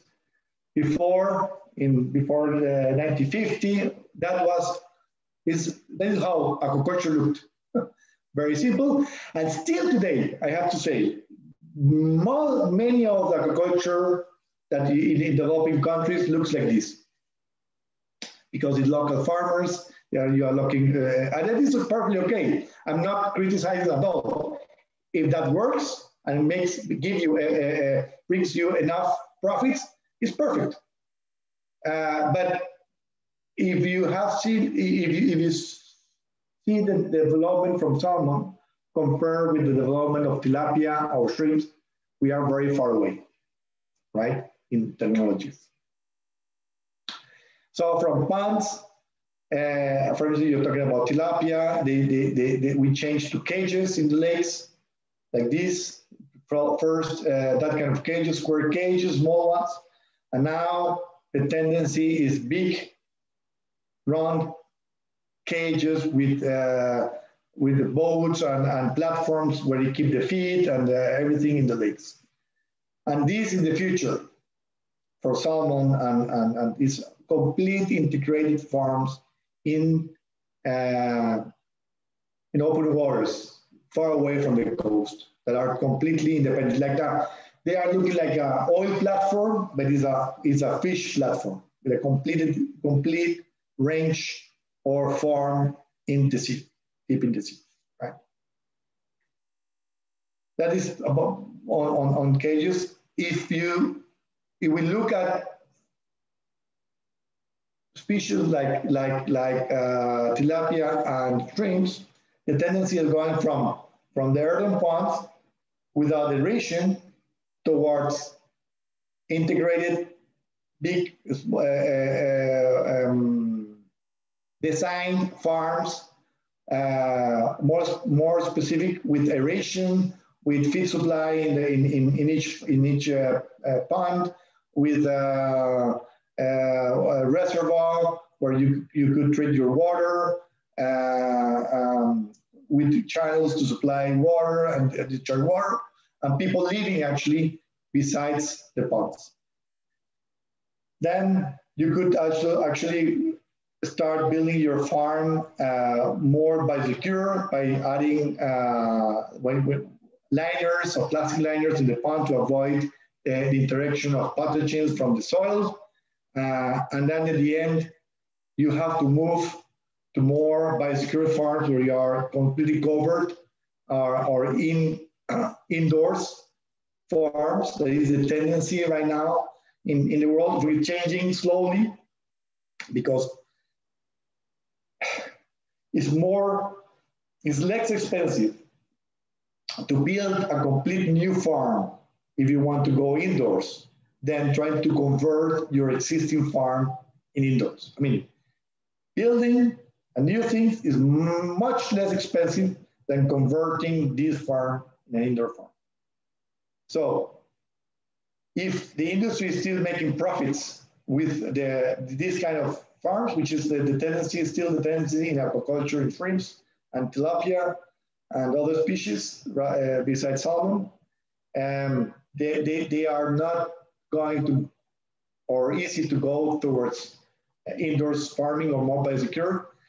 Uh, the only way to force the, the industry to go more to more biosecure farming and, and, and, and indoors farming with the recirculation or less water usage is if a big disaster, I have sorry to say that, but if a big disaster, disaster happens in that kind of farm. Uh, and when I talk about big disaster, it's mostly a big outbreak of disease, a pandemic diseases. People thought that that was the case with, with uh, white spot and EMS happened. Um, uh, white spot didn't change much the way of farming. Well, it does, sorry, it did. Uh, people start using more biosecure uh, uh, farming systems, meaning that they treated the water before stocking that, that actually killed the virus um, in the ponds. Um, so you could produce during 60 days without water exchange. I'm talking about shrimps, sorry. The white spot virus disease is a, is a disease that, that affects, if you, if, you, if you work in a clean environment, you're not get affected. Um, it's easy to get rid of it if you, if you got contaminated. I mean, you can clean your ponds, you can disinfect your ponds and you get rid of it. If you, if you disinfect and treat your, your water source, uh, it's not easy, you get contaminated. Uh, you can contaminate with, with birds and other things, but normally that contamination um, or that infection started after 60 days uh, post um, stocking. so the, um, the industry could manage white spot in a some way, in a good way, by keeping the biosecurity until at least until the 60 days, where they start uh, adding new water. If you could treat again, you could have, if you have water reservoir where you could treat the water and make the water change with real water, maybe you wouldn't you wouldn't uh, get affected by white spot. But if you don't have water, reservoir, which is uh, a lot of cases in Asia, um, you, do, you, you could treat the water in the ponds before the stocking. So you, you fill up your ponds, you, you disinfect the ponds, um, um, and you start your seed. But then when you make, you, you need to make water change after the 60 days, uh, you, you, you, you enter raw, raw water and you enter, you enter the white, the, the, the, the pathogen. In, in that cases, farmers need to have a very fast growing animal that could be harvested at 60 days. That's why in Asia, uh, growth became so important rather than survival or robustness in Thailand, in, in, I'm talking about Thailand, Indonesia, Vietnam, even South China, because they could manage small, small ponds with aeration and, and, and water treatment. So growth became very important because they needed to have a shrimps that could be harvested at a commercial size at 60 days. So in Asia, if your seed do not grow up to 12 grams 15 grams in 60 days, you, you probably would not have a good success selling your, your shrimps. Because even though the farm didn't get affected, the farmer do not like to see a small animal at 60 days because at that moment it could be contaminated anytime. So they, they are suffering from heart attacks if, if do not grow well. Okay, so that's why growth, uh, having a, a genetic that grow well in, in, in that kind of situation is very important. White spot, white spot was solved in some way, but then it came up an EMS shrimp system where they, they, they, get affected by uh, 30 days or four or, or 20 days. They, they, they just rip up all your farm in two days. They kill everything. The big difference between white spot and, and appen, which is a Vibrio parahaemolyticus, is that Vibrio, you can get rid, Vibrio, get rid of the Vibrio, clean the Vibrio so easily. It'll always be there. Vibrio always be there. So cleaning bacteria getting rid of bacteria, it's much more difficult than getting rid of the viruses, right? So when people realize that, they start moving from this to this, right? And that has been successful in the shrimp farms. But still, a lot of work to do. 90% of the farms are still like this or this, okay? Now, towards what should go way or is going the industry towards which area? I think, yes, as I said, it's going to full recirculating, recirculating aquaculture systems um, to avoid pathogens. That is the main drive. What is the drive the industry to, to these kind of, of, of big investments is getting rid of pathogens. Imagine you have a salmon farm with 600,000 tons in the, in, in the sea in cages and comes a disease and kills 50%. I mean, you, all your profits or investment profits from the last 10 years are gone in one season, in one. So um, people are thinking now in, in getting more secure or secure the production going inland and controlling pathogens. That is the main reason why people are, are trying to go inland is to control pathogens. Tilapia, again, uh, we, are, we, are, we, we suffer a lot in Regal Spring with diseases in the lakes, a lot, and, and, and conditions, and not only and, and, and low oxygens and everything. Even though we have a nice environment around, you are completely um, uh, affected and dependent of the water, of the, of the climate and the conditions outside. So the industry, if they, if they want to be more stable, they need to go towards more control systems and that are RAS systems. Even in shrimps, you know, it is the tendency to go to indoors, to go to indoors. It's a big investment, but companies like CP are driving that. They are, they, they, they, they, are, they, they, they, they know that they want to survive. Again, another, another outbreak of pathogens, they need to have that kind of production. CP lost tons of millions of dollars with the EMS outbreak. They, they, they, they learned. I am not, of course, CP is my competitor, but I have to say they are smart. They know what they are doing. And, and they know that they could not survive another outbreak like this. So they are changing all the farming system on all these farms to indoors and more control systems. all right, just uh, a little bit uh, and the new technology of RAS. What is RAS? I, am not going to go through this very deeply because I think you know very well. You have your your your, your fish tanks that is for salmon. Uh, you have a drum filter to get rid of, uh, of the measure of the of the uh, uh of the sludge and a mechanical filtration foam separator, which is a uh, get rid of the protein. Then UV to to kill the, the bacterial viruses. Then you have your, your um, biological filter that turns uh, ammonia into nitrate, nitrogen uh, in, in, in, into uh, gassic nitro nitrogen. Uh, get uh, in tank to get all the sludge out. Here to get all the sludge out. Mechanical filtration, oxygen if you need it. Sometimes fishes you need oxygen uh, disinfections, and biological filtration, right? That's a simple way to do it. You can add more things, but that is more or less what you need. Uh, skimmer, UV, uh, mechanical filtration, sludge elimination, and biological filters, right? That is for clean water. That is for fishes and whatever. That is important. In shrimps and in tilapia, there has been uh, exploring a new, new, well, nothing like this. This bioflocs has been there for many years.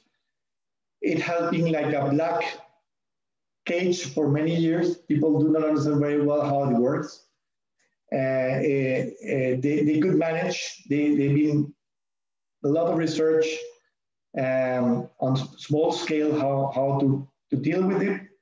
And sometimes you have a very good floc system. Sometimes, even though you, you, you, you apply the same methodology, the floc that you get is not as, bad, uh, as good as you have because you are dependent on the, on the kind of bacteria community that is building up in your floc. So the floc, mm, probably you know that better than I do, is, is, is a system where in the production tank is building the bio, bio, biofiltration with nitrogen, nitrogen, Nitrosomonas and nitrogen bacteria that turns the um, ammonia into gassic nitrogen, right? And then use their own their, their own waste of food and feces to build this bacteria, this bacteria, bacteria community. You need to have a very strong aeration because you cannot have dead points. And that probably has been the, the main issue in these systems is not having uh, uh, dead points uh, uh where the sludge could, could sink and create anoxic, anoxic areas that actually build up pathogen bacteria.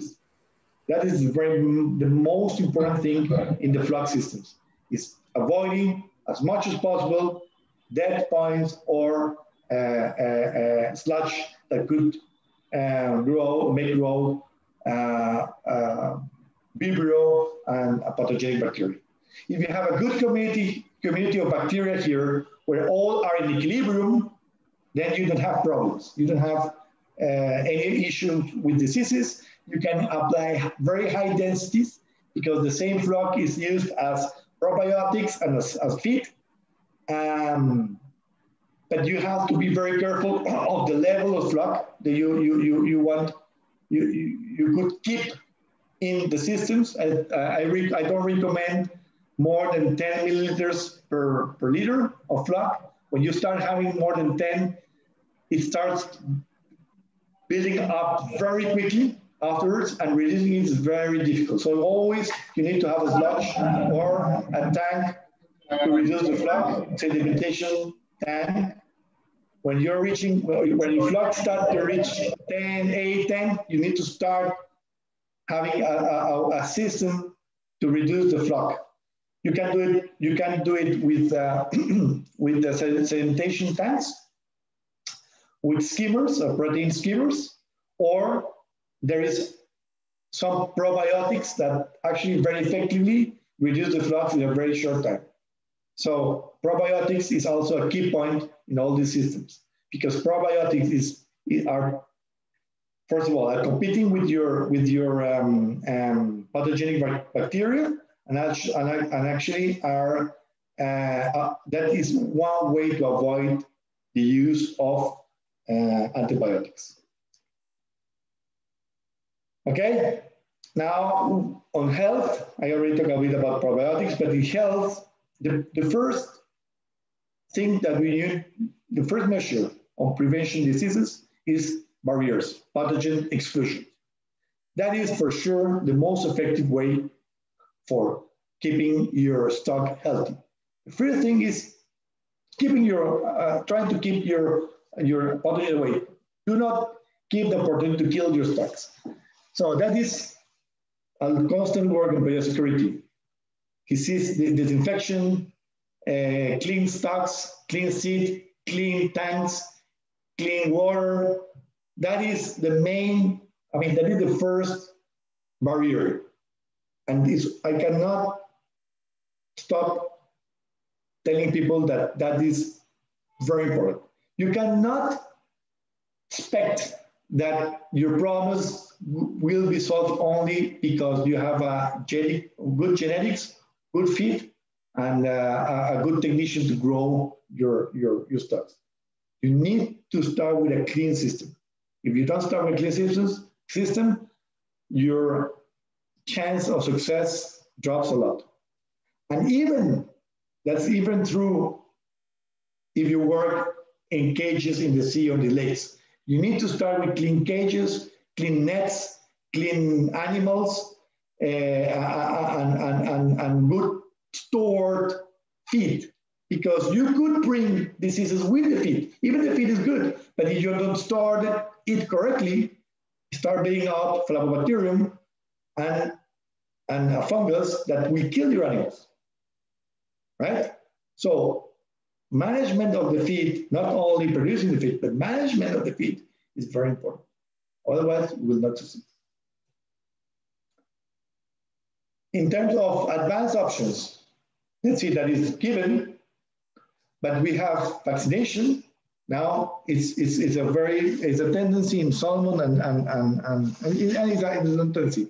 It's a normal practice now in salmon and in, in, in, in tilapia to vaccinate. In salmon for different bacterial diseases, already have the diseases, the, the, vaccinate, the vaccines. For tilapia mostly is for Staphylococcus vaccines. Um, now we are working with a vaccine. And that again, the, the, industry here has been doing a big job. And all these vaccines uh, companies, I go to DSM, Merck, and, and, and uh, all these, a lot of uh, big um, pharmaceutical, pharmaceutical companies are now very interested in aquaculture because imagine in one crop, one single stock, you need to, to, to vaccinate like 50,000 animals, one cage. It's a lot of vaccines. So for them, aquaculture became an, a very important um, prospect to in, in, increase their sales. uh, and they are working on that. Uh, so in some, some, some diseases, they are very successful, in some not so much. Um, now we are working with the trivalent uh, vaccines because we have different strains of Streptococcus and uh, uh, serotypes, and uh, that is uh, that has been a challenge for us because even though we could, the the the, the, the fishes could build immune system, the, uh, immunity for some serotype of the bacteria, uh, bacteria, they are not available. So we are now working with a trivalent vaccine that it seems to to be better. Uh, we are still in the research process, but as I tell you, we vaccinate every single animal we put in the cages. It's a big job, okay? Um, that is in fishes where you could have immune, immune memory. Unfortunately, with, with shrimps, we do not have that kind of uh, uh, advantage. So we cannot have vaccinations or is not possible to vaccinate in the same way we vaccinate the fishes. There is, there is some options, and I, that is, I didn't put that here because it's a very controversial part, but you could work with double strain RNA in shrimps. I know you have been, uh, you heard about that double strain RNA from the same virus, virus that affects the animal. You create a double strain RNA from that virus, and that RNA destroys the virus, the, the, the chain of DNA of the virus or RNA of the virus. It's very, it's, it's, it's, it's very strange, and I tell you, very effective. I tried myself, no, not in me, but in my animals, and it works very well you inject the animals or your strains with double strain RNA, and you infect with white spot, and they don't, they don't die. The problem with, with this technology, it do not remain for long. It remains for maybe 10 days, that, that um, protective um, um, capacity, 10 days, 15 days. Now the challenge, and that we have been working on that, and it's again uh, a possibility that, that, that, that people should work on. The, the, the, the challenge is to put this double strain RNA into the feed. So you could deliver the double strain, the double strain RNA constantly into your animal through the feed. And then you give the protection constantly in the feed right? That, that is, that, is uh, that will be the, a game changer in the shrimp business. Unfortunately, we haven't been able to do that uh, without destroying and affecting the, the double strain RNA chain. So uh, if you put heat or you put pressure in, the, in, in there, so you straight. So the point is how to do it without destroying the, the, the, the, the, the, the, the there, right? Uh, there is some possibilities with coding and microencapsulation, and then just some ideas, you could use the same microencapsulation technologies that we're using in the hatchery feeds to encapsulate the double-stranded RNA or coding or, or there is some way to coat this double-stranded RNA with um, proteins, some kind of proteins are coating proteins that could actually cover the double ring and then microencapsulation. So we are in the process of, there is some research on that. There is some company that probably they are working on this right now, uh, but very small research done so far. So that is something that is could be very interesting and a game changer in the industry. All right, probiotics. Uh, uh, probiotic has been one of the big improvements or what, what is the of, of the of the area where has been helping aquaculture a lot, a lot. Nowadays, nobody, or in general, I cannot say nobody, but in general, we are using much less antibiotics. And not only because it sometimes doesn't work, but of course because the, all the environmental and entities and, and, and good practice entities avoid, uh, and, and, even the governments actually uh, do not allow the use of antibiotics in aquaculture because it's very harmful, it's dangerous, and, and, and not effective. I mean, that's why. And that has been changed, and, and, and uh, uh, been changed to probiotics. Um, and probiotics, not only in the feed, but, on, but in, the, uh, in, in, in, in the production tanks. and the feed works as, um, of, of, course, it works uh, uh, two, two, in two, two ways, of course, reducing the amount of pathogens in the, in the intestine, in the, in the tract, digestive tract, but also it helps also to absorb the feeds in a better way. It's like the yogurt for us, for you guys. You, you, yogurt is part of your life, and I love it.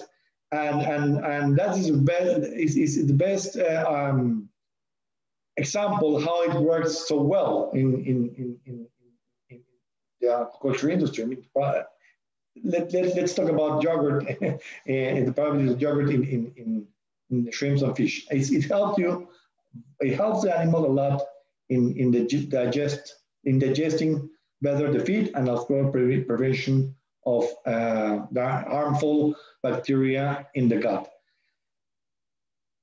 But to me, they have a lot of controversy about the, the, the effectiveness of the, of the probiotic in the feed because they said, for instance, shrimps, the feed pass so fast through the gut that it never, that the bacillus or, or, or the probiotic do not have the chance to even grow or have any effect. It goes through the, the, the gut completely entire without even grow. So that is a possibility when the digestion of, hello?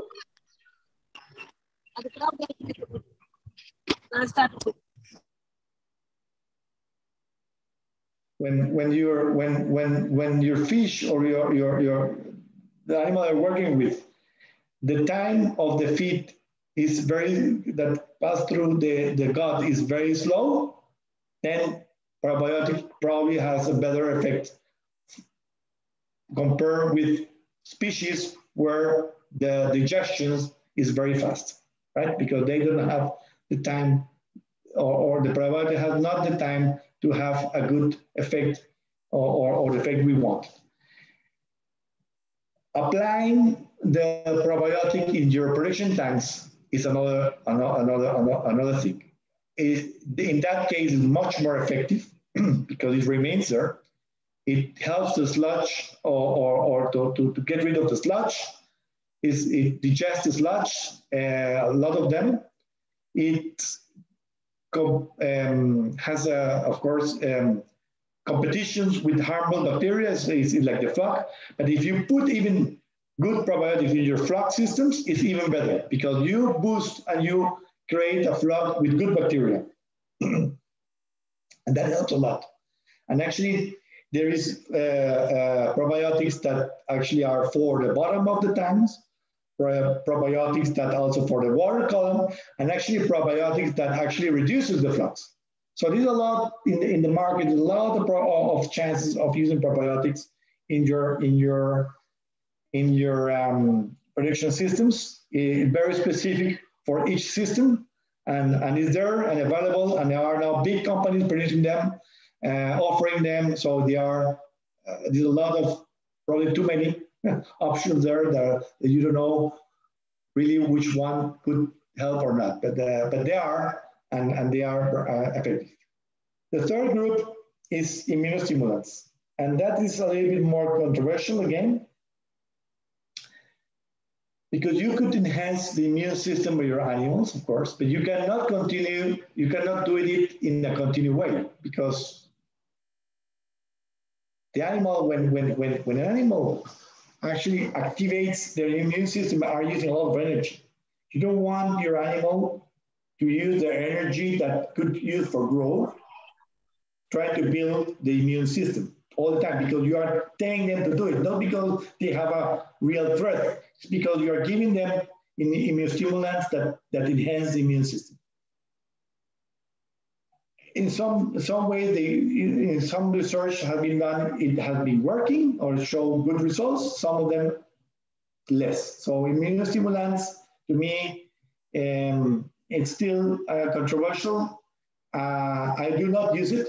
Uh, uh I haven't seen much effect in that, but people still believe them, and they are they are they are in the market. There are many of them uh, that that that says that has good results in fishes. Uh, that is, uh, my, my experience with immune stimulants directly is not so much, so I cannot say much. But uh, in, in, in, in the theory, if you see the theory, it could help. But I will be afraid of keeping an animal with the immune system activated all the time.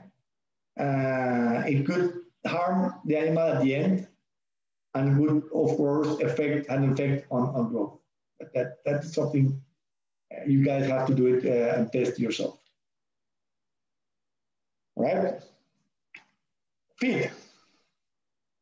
What has been the change in the feed? I mean, that probably, again, I think you probably know more than me in that part.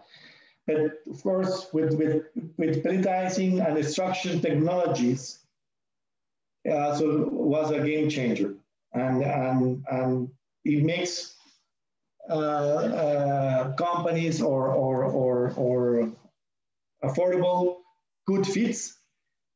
Uh, and they start doing a lot of research on specific fits because every animal, every species needs a different kind of fit, not only in the formulation, but in the physical properties. So you need there is a species like tilapia that need floating feeds. So you need to deliver the feed, but they need to be floating. So this is a special technology to, to produce floating feeds. For shrimps, we need sinking feeds because they, they, they feed in the bottom.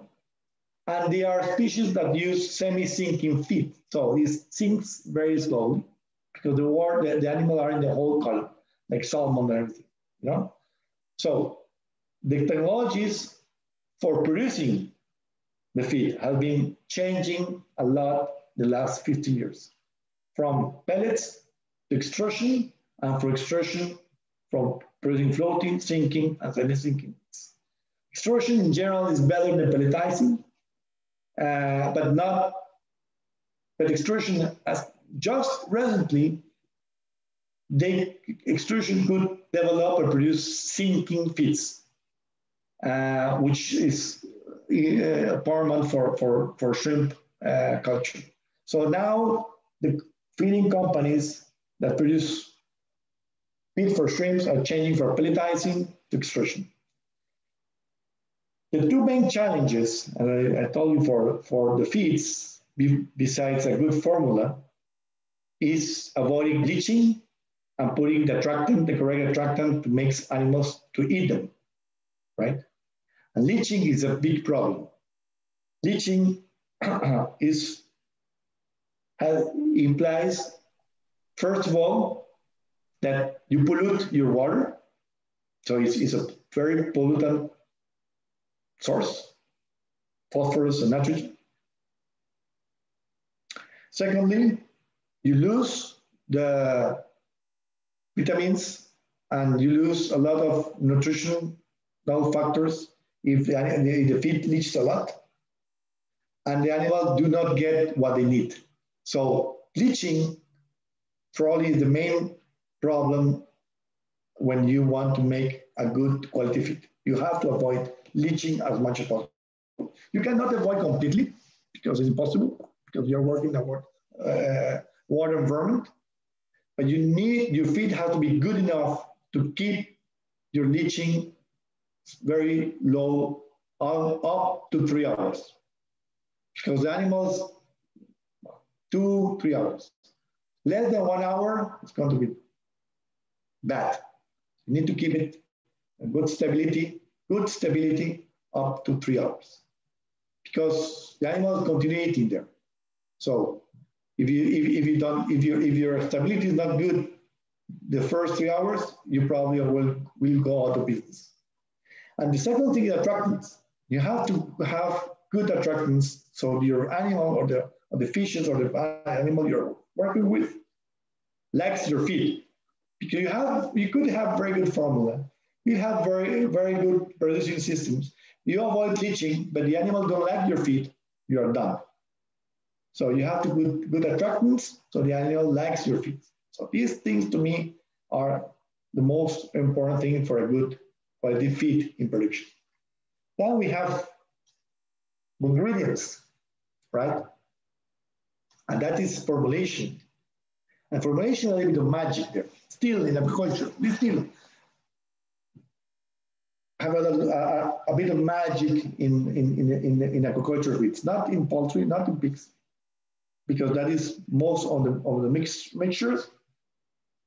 But in, in aquaculture, still every company has its own magic on that. The first challenge that we are facing now with, with feeds is animal protein. Fish in, fish out, you know? We cannot produce less fish from the fish we extract from the environment to feed our fish, right?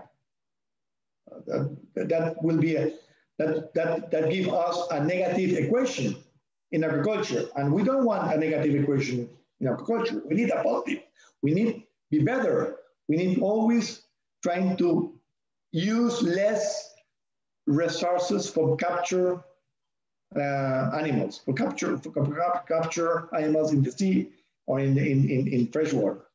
So what you produce in tons in the feed, you need to have to be less than you, what you uh, extract from the natural resources. So the, the use of fish meal in, in, in, in aquaculture feed has to be, needs to be always less and less. So um, we are talking about vegetable proteins, replacement of fish meal with vegetable proteins, but vegetable protein has a lot of anti-nutritional factors.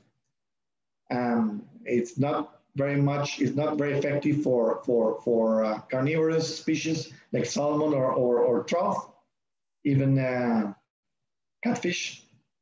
Um, it's more, it's much more uh, um, effective in tilapia. I think tilapia is almost vegetable protein. Um, but for shrimp, is is, is, is, still in studies.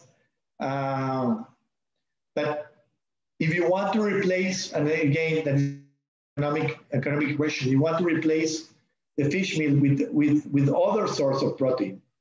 This other source of protein needs to be affordable in terms of volumes and price.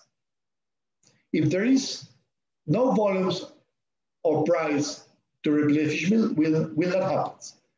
If you are a fish meal producer and, um, and um, you want to make profits, you will not change your fish meal for a, for a source that you cannot find or easy find, or is for a source that is more expensive.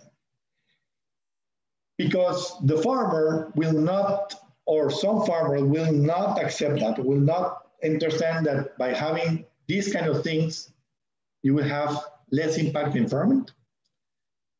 So if the fish, if the fish company, if the feed companies wants to do that, they have to be, they have to be a national policy or a world policy that force the farmers and the producers to do, do, to do so. I mean, to use uh, uh, sources of um, protein that are not, or that, that are environmental friendly, or at least um, sustainable, right? Now we are talking about renders. Renders could be a good source, and they are affordable. This is your renders is the waste of the poultries, poultry industry or uh, pig and everything. And now we are talking about insect meal. Insect meal pro probably would be the way to go, but right now it's expensive. Yeah, I mean, it's high, it's good quality, very good quality, but it's expensive and their volumes are not there. So if, if, if I'm a, a, feed producer and I tell, okay, guys, um, I want uh, 10, uh, 10 tons per month or 100, yeah, 50 tons per month of your insect meal. Nobody is able now to, to supply, right? That is something that is starting these uh, insect meal companies to start building up the capacity on industrial in, in an industrial size or or, or not. Um, all right. As important, or probably more important right now, from than the feed production technology ingredients is the feeding strategies. Um, you could have the best feed, you got the, the, the, the best feed in ingredients and in, in, in feed production technology. But if you deliver your feed incorrectly, or you store them incorrectly, or you use correctly, you are not doing anything. It's important for to understand that, that feeding strategies are as important as the ingredients and feed production technologies? And more now that you have new genetics. Every year, every two years, you have a new genetics coming out in your pipeline. And these animals, an animal change, and the feed should change, and the feeding strategy should change. You cannot feed an animal, a, a high growth animal or a high progress animal as the same way as you feed 20 years ago. You have to change the way you feed the animals. You have to change the feed formulation as well. Probably need more energy, probably need more protein because they are, are animals that build muscle much faster, are more aggressive for the feed. They are more competitive. So you need to change your strategies on feeding as well, at husbandry as well. So now we are having auto feeders that deliver the feed just a settled time. You, pro, you, you program your, your, your feed, feeder based on time, every X amount of minutes or hours or seconds, but you don't know anything about your animal there. Just guess, you know, that you are feeding constantly, which is good. It's better than, than keeping animals uh, hungry. So you deliver feed all every um, one, two minutes, small amounts, is better than giving the same amount of feed three times per day. First of all, the animals suffer less from hunger, are less, uh, less uh, aggressive. Secondly, the leaching is less because the, the, the, the feed is used in a better way. And secondly, um, you're keeping the nutrients in the feed better. Uh, and of course, you have less competition in the pond. You are giving them more regularly. You don't make your animals suffer from hunger. You stay. Starvation is not there, which is much better in terms of feed efficiency.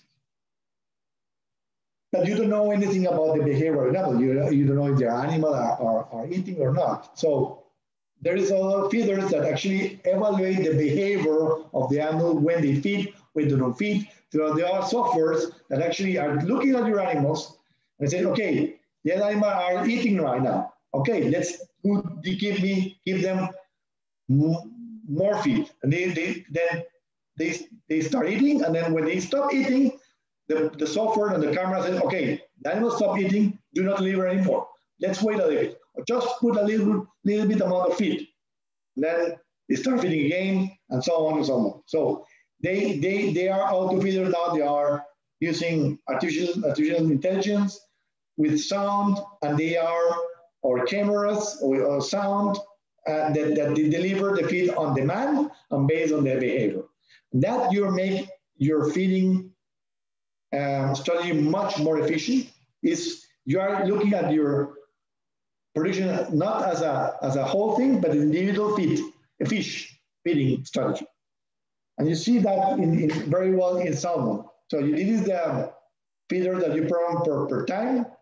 This is the feeders that are programmed by echosound. So when they, they, it hears the, the animal eating, and when it hears animal eating, they deliver the feed. When it they stop eating because they don't hear anymore, it stops delivering the feed. And this is the, the, the other one that is delivers the feed. The, the uneaten feed is here counted.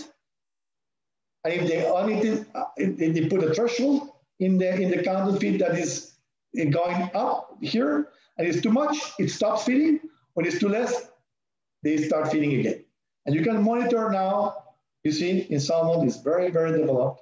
You see every animal eating there, and you see they are eating or not eating. You can deliver or not deliver. It's everything programmed, software with artificial intelligence that are now doing all these things for you. Okay. Norway, in, in, in, in our developing countries, in Thailand, in Colombia, in India, the labor is cheap, so you can use people to deliver the feed, but they are not, they, they, they, they deliver the feed by guess you know, it's a little bit uh, not, not so technically. In Norway, it's one person managing 600,000 tons per uh, so it's one person or two persons doing all the job with technology, right? So feeding is now as important as formulation and feed production. All right, now we start with uh, the fun part. Uh, I don't know if you want to have a small break for a toilet break.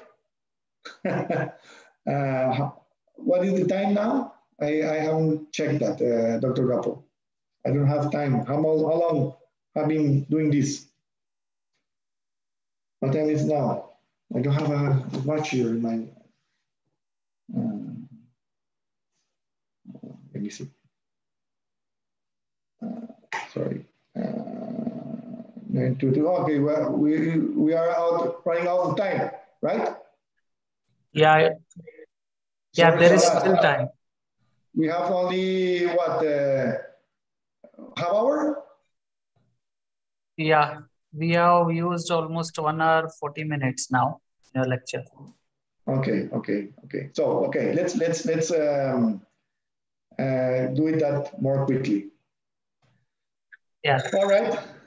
Uh, okay, in, in, in, in hatcheries, what has been the game changer here is the reproduction technologies, control reproduction. That, without that, we cannot supply or produce seeds, right? Fingerlings. Uh, so we have natural copulation, artificial insemination, moth spawning, individual spawning, individual spawning, right? So um, it's it's it's important that or was very very important in the past to have the control of these parts. And uh, sorry. What is this? Uh, okay. Um, in the hatcheries also uh, is was very important to improve the whole brain technologies, like artificial incubation, artificial hatching, temperature control. I mean, without these, we, have to have good quality seed. Without a good quality seed, you won't have a good crop. It's not only the genetics, you have to have good quality fingerlings, good quality PLs if you want to success. And that's important. Nutrition, husbandry, and technologies need to be there. So we have now the possibility to have microencapsulations, to have a very good nutrition. We are now working with Artemia embryos, which is the Artemia but non-descapsulated and, and ready to use, and live feed like macroalgae, Artemia, and rotifers. I mean, that has been very, need to be done in a very good way with good, very good quality and with good, very good management, right?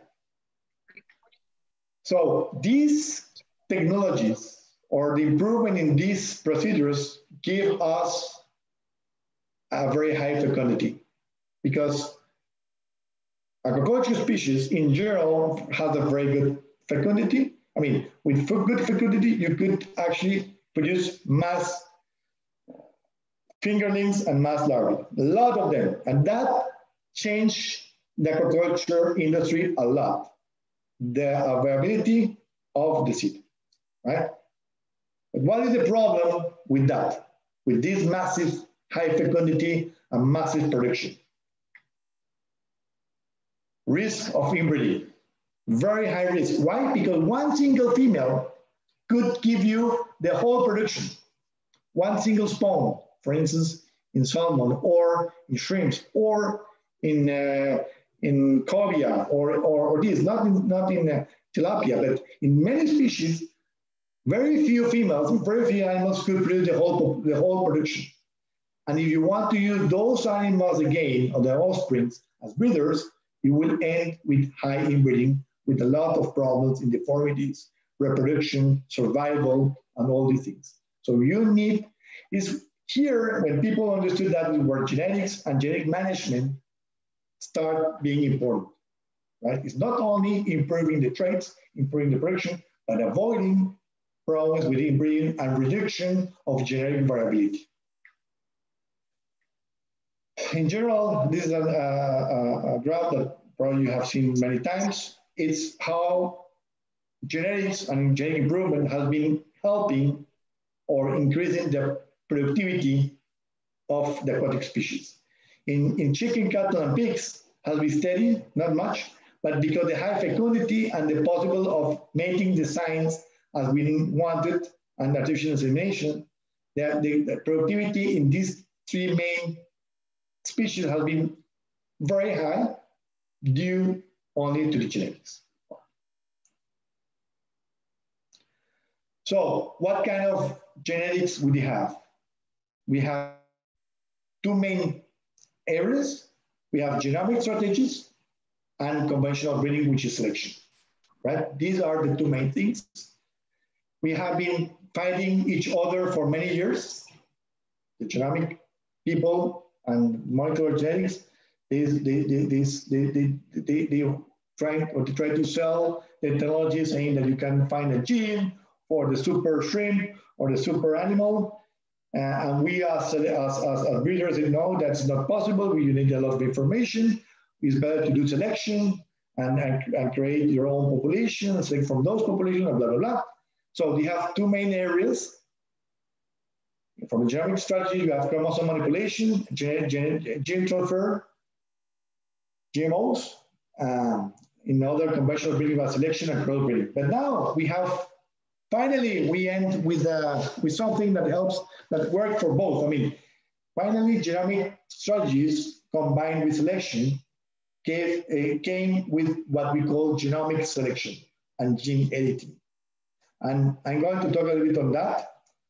Uh, mass uh, uh, well, in selection, you have mass selection, um, where you test the whole animal, you select the best ones based on the individual characteristics. You don't have you don't have pedigree. You don't have you don't you don't know from which animal they are coming. Those animals mother and father, just select and you produce the next generations. That is very effective for growth, but you could end with inbreeding if you don't have pedigree. Now, now again, with molecular technologies, we could have DNA fingerprinting, and we could actually know from which father and mother could came those animals. And we could build a pedigree based on molecular technologies. That is why I'm saying now we are working together finally. We are, the molecular tool came as a, molecular technology came as a tool for selection. And when we have family selection, where you have a mating, different uh, male and uh, families, and each family, you could have the, the that is the, the, the beauty of the family selection, that you could actually test the same family for different traits. And you could build a population that could be better or, or, or have genetic response for many traits. On mass selections only give you one choice or small choices. Family selection give you much broader choices with the same population, right? So most of the uh, companies or most of the breeding companies are using family selection right now instead of mass selection. And that is what becomes genomic selection. Genomic selection is based on a platform that discovered single nucleotide polymorphisms as a markers. And we could have thousands, thousands of those in the genome, millions, I mean, I mean the millions of these SNPs are in the genome, even though the genome is very similar from each other. We share 99% of the genome from each, from, from, from, in, from the same species, but we still could identify these small differences in the genome. And we have millions of that. And we can use these differences in the genome to um, identify, identify some characteristics in the phenotype that we want. So we can use these differences in the genome and compare with the phenotypic information, right? And you, for instance, you, you have a small uh, 50,000 SNP 50,000 markers and use these 50,000 50, markers in every animal, and then you record the phenotypic information, growth, disease resistance, fertility, and then you are trying to find associations between these um, um, markers and the trait. In general, there is very low or, or small traits that are affected by single genes most of them are affected by a lot of genes, polynomic genes. Um, a lot of genes are from small effect are affecting the trait in general. And with these um, SNPs or markers, we can identify these small effects as a whole, right? Because we have a lot of information. Normally what we do for, for instance, in, in disease resistance, what we do in, in, in, in uh, in we, we've de developed a 50,000 SNP chip that we already test for two generations for EMS, open resistance. What we do is we genotype the training populations, is the, the populations that we infect, and we genotype the clean animals, the seedlings, in the breeding nucleus. We genotype the high tens, these two populations. This one we infect with the virus or with the bacteria we get the information, we uh, have the information of death or alive or time to death, and then we can actually select these animals based on the information of those ones individually, individually. Before, we only had the family means. Now we have the individuals that have exactly the same profile in genotypes or genomic than this one that survived. So we can select we can have G blocks or G, G breeding values, genomic breeding values from, and from families. So we can identify individuals within the family that would survive if I would infect them. So that increases the, the, the accuracy of selections by 15%, which is a lot. Again, small improvements at the big scales are very big in the industry. So the genomic selection is now uh, giving all the tool to select individually animals that might be survived in a challenge test. The same we could uh, work with fertility or with survival in different ponds on different environments. So that is made very much for those traits that you don't can test your breeding candidates, right? It's very effective for traits where the breeding candidate need or, or the tested animal cannot become a breeding candidate, right? So which species are using this kind of uh, technology? Is already Atlantic salmon and applying it, tilapia for this disease resistance and Penaeus vannamei. And these are just an example of how many SNPs markers you need to have an effective estimate or heredity.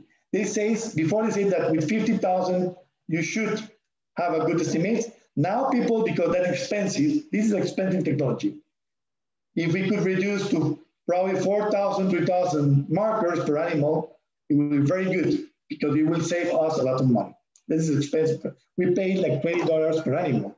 So we imagine we, we genotype 5,000 animals per generation or per trait per, per cohort is a lot of money, a lot of money.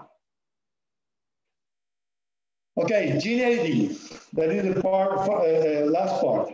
Gene editing is, uh, maybe you, you have heard about CRISPR, these, these technologies. The technology is based on inducing mutations where that might be occur in the nature, but you might, you you induce a mutation that you want in your population, right? So you edit your, your DNA, but it's a mutation that might be a not, but you use it to produce better animals. In this case, it's a, it's, it's a gene that regulates muscle growth. Looks horrible, but could be very, very effective for production. I don't like it, but anyway, it's there and has been applied in in a test. So where you have the two alleles from the mutation, you have a much higher fillet yield than the non-mutated fishes. So this is a very promising technology for us, but with some concerns. The regulation is still not there. We don't know about the consumer perception. It's costly, and it only works in such traits that are affected by a small number of genes.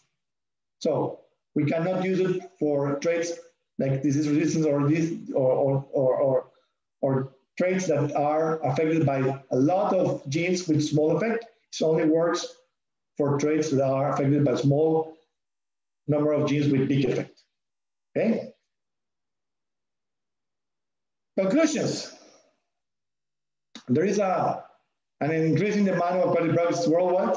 The traditional capture can't supply such demand. Aquaculture products are rapidly filling the gap. Big investment has been adding installed capacity. In order to be profitable and sustainable, the industry has been investing in new, in new production technologies. Basic supplies like feeds and seed have been spending a lot of research to meet the producers and consumer requirements. And environmental management and low input will play a big role in the future. And I want to make my last sense on that. Good practices is not only profits, but we need in our culture to implement good practices. We have to take into account environmental law because it could be our best friend, but the environment could be also our worst enemy. So if we don't take care of environment, we will be in, in a big trouble and could hit us badly. Okay, thank you very much for your attention. Thank you, Dr. Thomas. You, you have really, really uh, given a lot of uh, exposure and insight of the industry, right from the culture to requirements and the scientific background of this, that how it happens. And I am very sure that uh, my students and faculty members must be having few queries or uh, would like to interact with you. Maybe a few questions we can take. Yes, yes, sure. No worries. Yeah.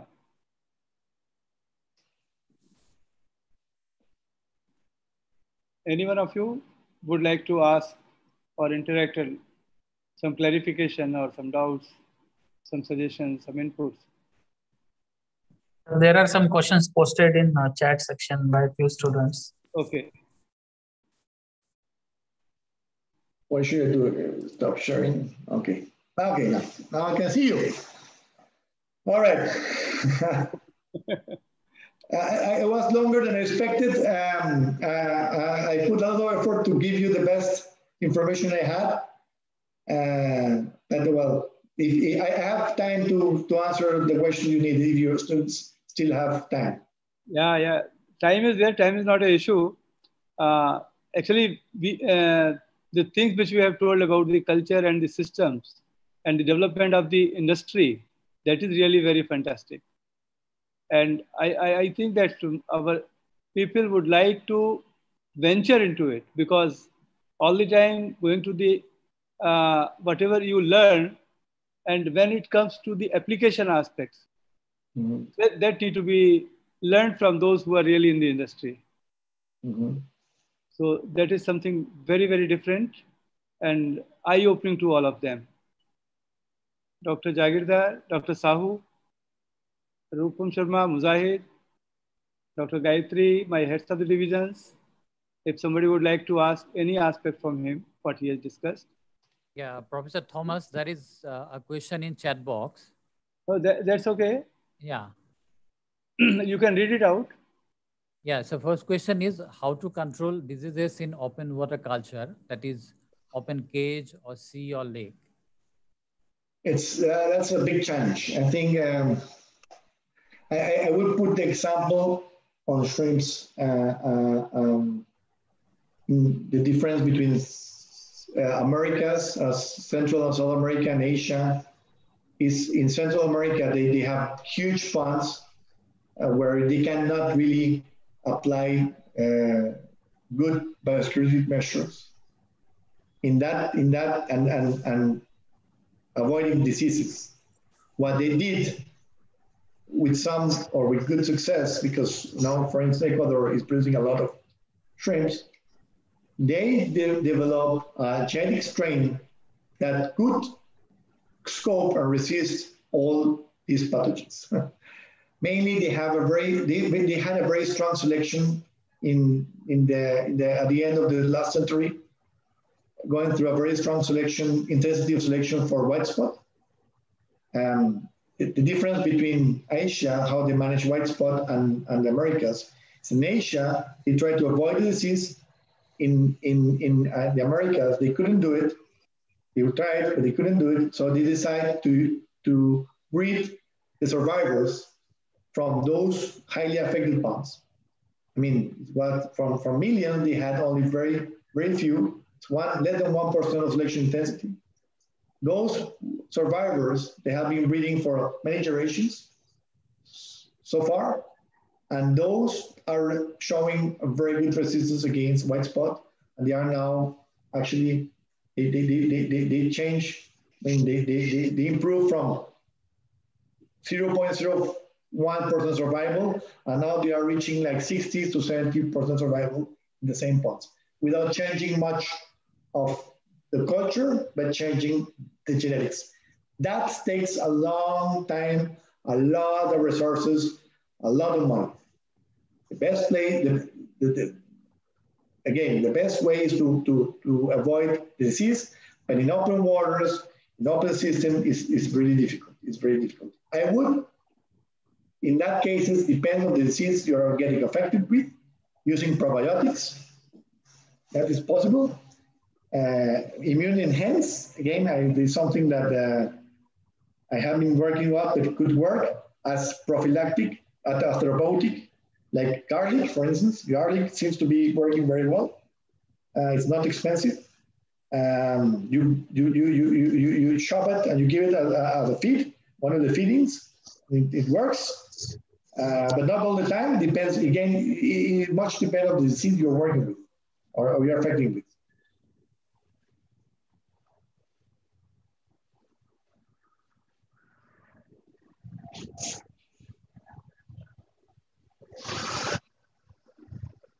Uh, yeah, Thomas, how are you? This is hi, hi, hi. Yes, good to see you. Yeah, nice meeting you again after a long time. Yes. Uh, uh, two quick questions.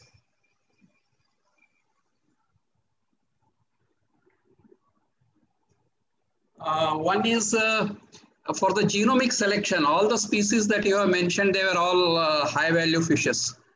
What yes. about the programs for the high volume but uh, low price, uh, this one? Yeah, you're talking about carps. There is some work in carbon saw in the, in, in the last slide. Um, we, if, if it, again, it's, it's, it's, it's a matter of cost and benefit. Uh, this is expensive technology. Um, we're still in the, in the, in, in the process of evaluating in um, proving, proving what the theory is, is, is, is telling us. In theory, genomic selection uh, is very interesting actually has been applying in, in, in, in, in dairy cattle and in cattle long time ago with good success. But we have to prove that in, in aquaculture. How much are we really gaining uh, in terms of, of genetic gain and, and, and, and long-time response compared with the investment we are doing? Um, with low value animals, uh, I, I, am afraid that that technology could be more expensive than the profit you could get at the end. And, and, and when the equation is negative, there is no business. So as a researcher, we would like to do all this research because it's fun. But at the end, we don't breed for fun. We breed to make or to help the industry in having better profit or having a better animal where even the small, small farmers could make better incomes, right? Um, when, when, when your seed, because that technology is expensive, your seed become more expensive and you don't see really that benefit in your ponds, then I would say not, not, not, or, or, or, or the benefit you see in your ponds do not is, is less than the increase in your seed price, I would, I would say you have to be very careful.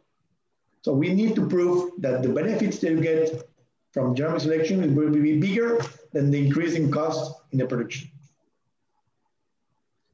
Uh, second one, how are you seeing the future for the monodon or whether it is almost finished? No, no, no. I think monodon, um,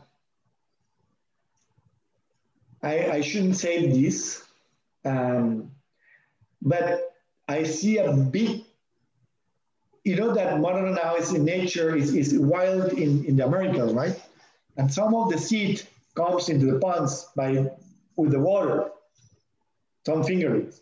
And they do extremely good in the monodon in the Panama ponds. I see that probably in that kind of systems, with low densities, uh, already animals that are resistant to white spot, it could be a very good option, very good option. Um, I think it grows well. I think uh, if you could control the, um, the, the reproduction in a good way, which has been a challenge so far, but now with the genomic tools like, like uh, fingerprinting and parental assignment, I think it could be much easier to really create a breeding population that you could select for. Um, I probably would um, do a little bit of what was done in Marathon in, in Panama in Ecuador, probably go through three or four generations of very intensive selection uh, for white spot um, uh, using uh, survivors, and then clean the population with double stranded RNA, uh, and then start. That could actually be a game changer in monodon. You need to control breeding and to create a, a, a population that could be more resistant to white spot. To me, if that is possible, monodon will come up again very, very, very big, very strong. Thank you. Thank you.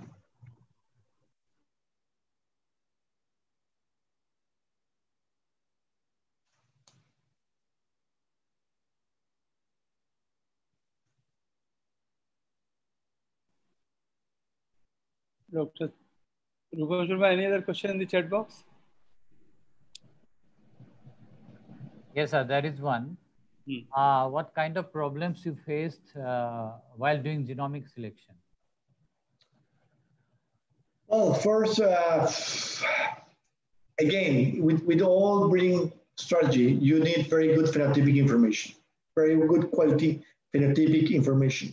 If you want to select for disease resistance, you need to have a very good, well, very well designed challenge test where you could actually, where, where, where you could ensure that the animal that died, died because the disease you want to select for, and because the animal that survived again, survived against disease. Not because other factors when you do the challenge test.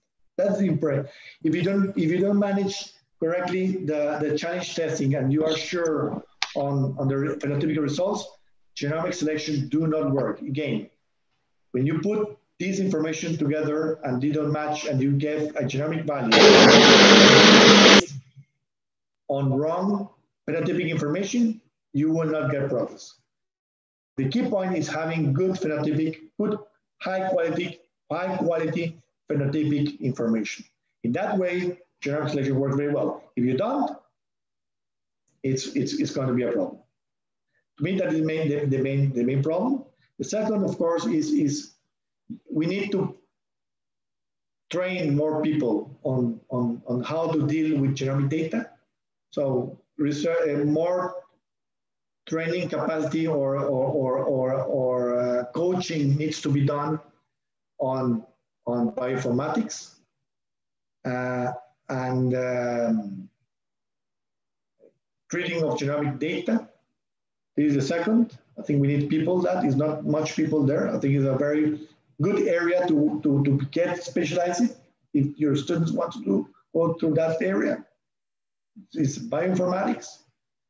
Um, and the other point is, is, is cost. I mean, the, the cost needs to be reduced. Otherwise, uh, cost of, geno, of, geno, of genotyping, genotyping cost need to be reduced.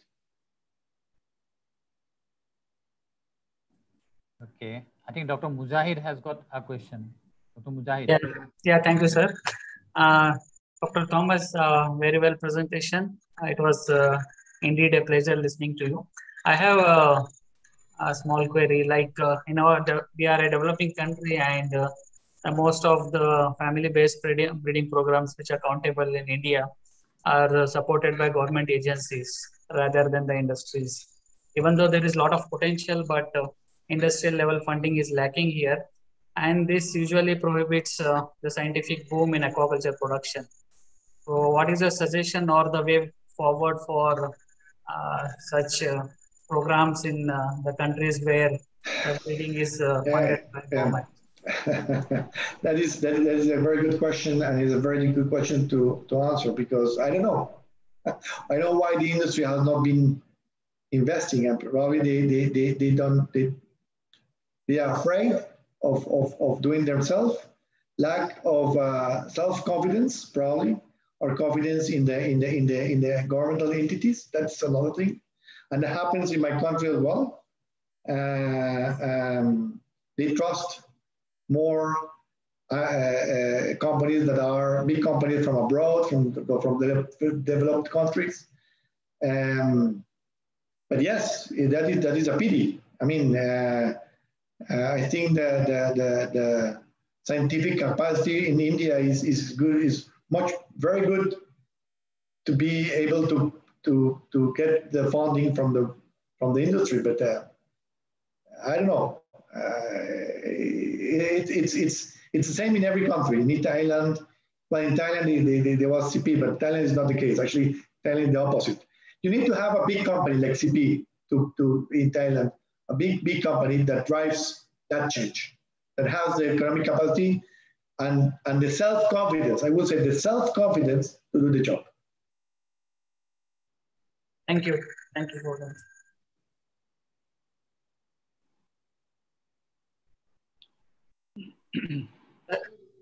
Rupam sir, it is mute. Oh, yeah, yeah, thank you. Uh, then one last question, that is how much intensity or how much productivity is too much where we are creating more harm to nature than benefits? Difficult question. It depends very much on the species, on the technology that you're using, because you could actually have a very, very intense productivity uh, without harming environment because actually you could, for instance, fresh fresh water is, is different from, from, from, from marine environment.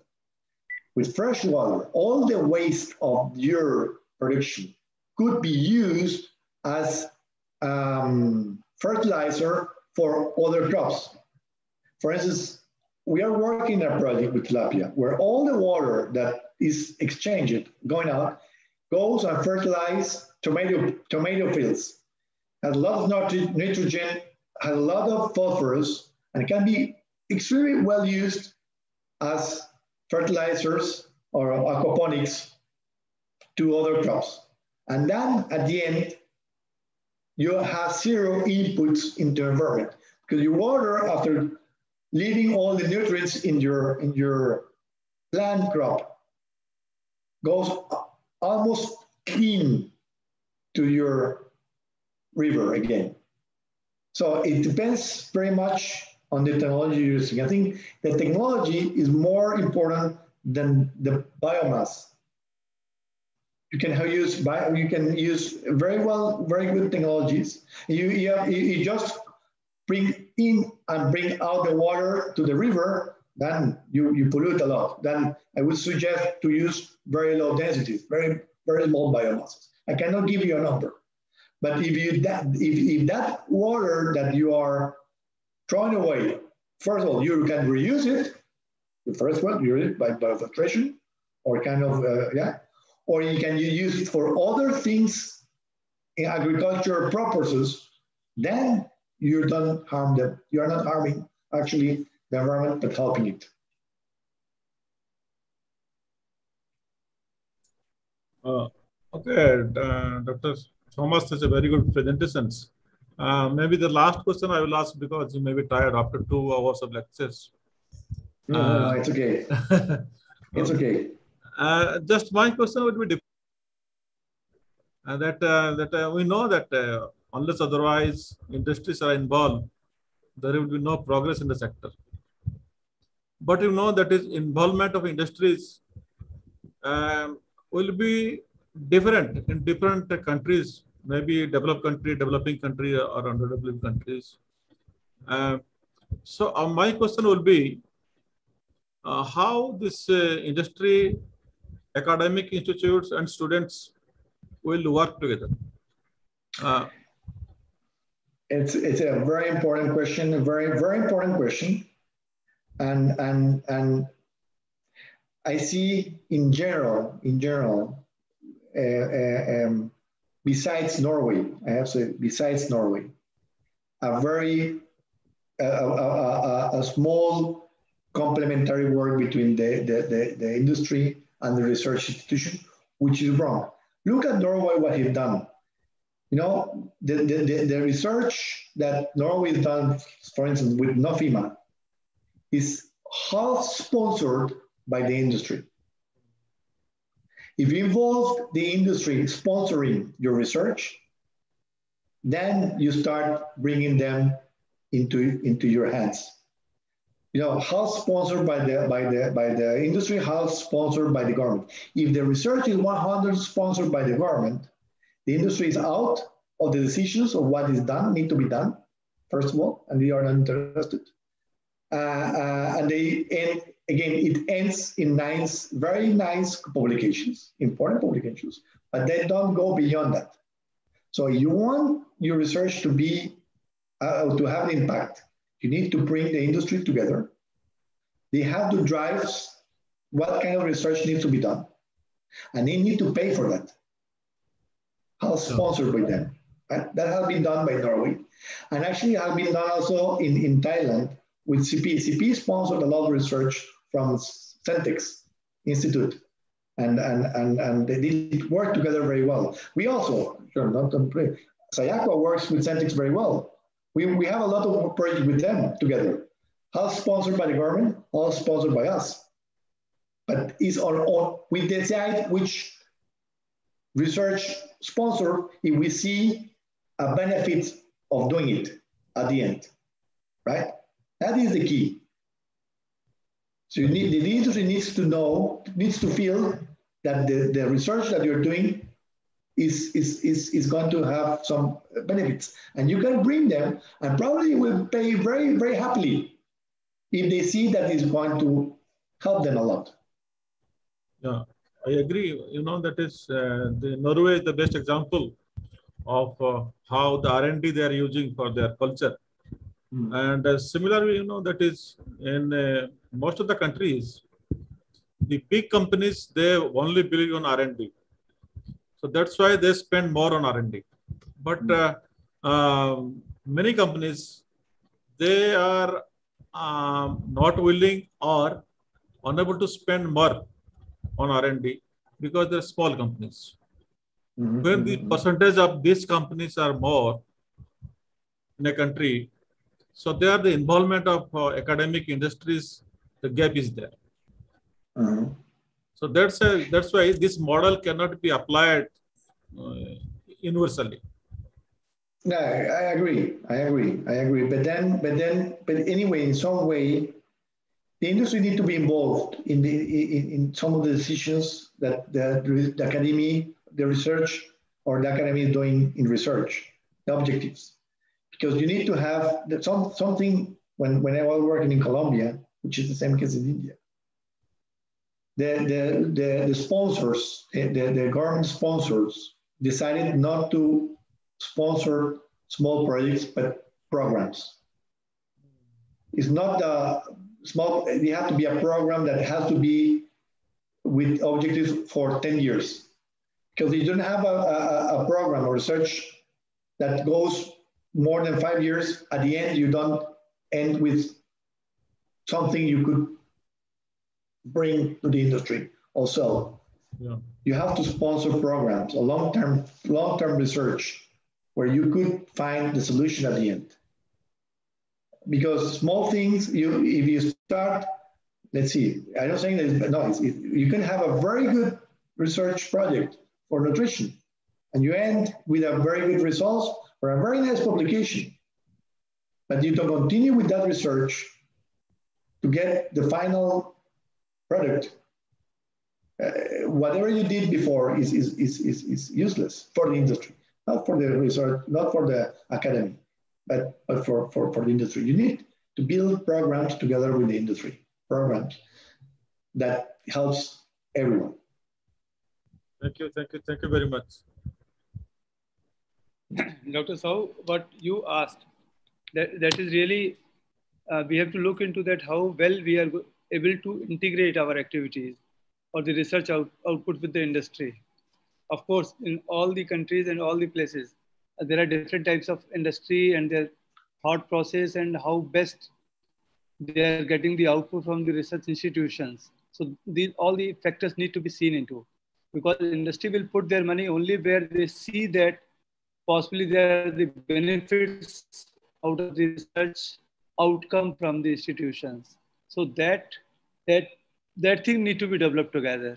If that is not the case, in, in that in situation, situation, it will be very difficult to come out with the linkages with them. We have to see that how the other countries and the research institutions are developing linkages with the industry and whether we can follow that model or not. So that, that is to be seen. And we have already seen from the presentation of uh, Dr. Uh, Thomas that working with the industry, having the background of the scientific, strong scientific base, and applying that so that we get the advantage. Else it becomes very difficult. Serving in the industry and becoming a icon also, that is very important. Our students and our faculty members must take the cue from here. If we are going to put our hand in industry, want to become an entrepreneur, what are the intricacies in that? And how those intricacies are to be followed or ruled or we have to see that how we are going to work on those things. Important aspect of it. And before it is the formal word of thanks i would like to say that uh, dr thomas your presentation was excellent this has given a lot of exposure and insight of the industry and how our colleagues should work on those lines to imbibe the outcome of your research outcome of your experience and outcome of your work which you are doing so diligently for the last number of years. I remember it is 20, but it is not 20. It has to be more than 25 or 30 years mm. Uh, during which you are continuously working and supporting and leading the industry. I am really very, very thankful to you. And my thanks to my colleagues to formal word of thanks by Dr. Rupam Sharma. And I see that many of my colleagues who are the part of NAHEP, they are here, my HODs, my nodal officer, my joint director, and everybody. So that is great consolation that everybody is listening to you so intensely that they should get something out of it. Thank you. Thank you very much. Rupam Sharma. Well, thank, thank you. Thank you, Dr. Gopal, for inviting me. I, I hope that the presentation fulfill, fulfill the expectations. Um, um, um, but um, I, I, I, gave this presentation from my, from my own experience and the heart, I feel uh, the industry has been helping or what is needed still. I think there's a lot of things that is still needed. We are in, in we need a lot of research. We need a lot of help from, from the academy. Uh, we still need, uh, I mean, we, we, we really um, have a need for the academy to be together with us and solve many of the problems. I think that is that is very important because uh, we don't have as, as many as they say some of the companies we are too small to do our own research. We need centers or research centers to do the research for us, but for in, in, in with, with objectives that are helping us to be better or more competitive right? That is it. And, and, and I, I could bring a little bit the experience I had in Colombia. In Colombia, they decided to create the research, the, the, the, the production um, um, associations, the producers. They made associations, and these associations create their own research center. For instance, they have a Center of Research of Coffee, Coffee Research Center. Mm-hmm. So this, this is sponsored 50% by the producers and 50% by, by, by, by the government. Sugarcane Research Center, Aquaculture Research Center, uh, Palm Oil Research Center. They have many of them that are 50% sponsored by the industry. Even, even I am a small farmer, I'm part of the association and this association is sponsored in a big way mm. because they are doing research to make the country more competitive. It's not individual companies. So all the companies sponsor research to make the country more competitive. So probably you need to have an association in agriculture that creates the research center, right? Yeah, that is true, true. Hmm. Yes. And, and uh, of course, I, I, was very happy to give that thing. I, actually, it was a pleasure. It was very fun preparing it. I, I, I have fun. Spent two, three days or more preparing it, but it was a big fun. It was big fun. Not only preparing, but giving it. You, you must have spent a lot of time to prepare the presentation. I did, but uh, it worth. Yeah. I hope. I hope. yeah. Yeah, thank you. Thank you so much, uh, Professor Thomas. In- We, we, could, see by your presentation, like right from history to genomic selection. So you have you have not left anything uh, that we should know, or I, I'm sure that our students and faculty members are immensely benefited. And uh, I'm sure that you will be receiving so many communications, especially from our students, for uh, their guidance, maybe uh, in their near future. And we to look forward for your collaboration with uh, us in the future uh, endeavors. And uh, uh, really, we heartfelt thanks to uh, you, sir. You really uh, made it today.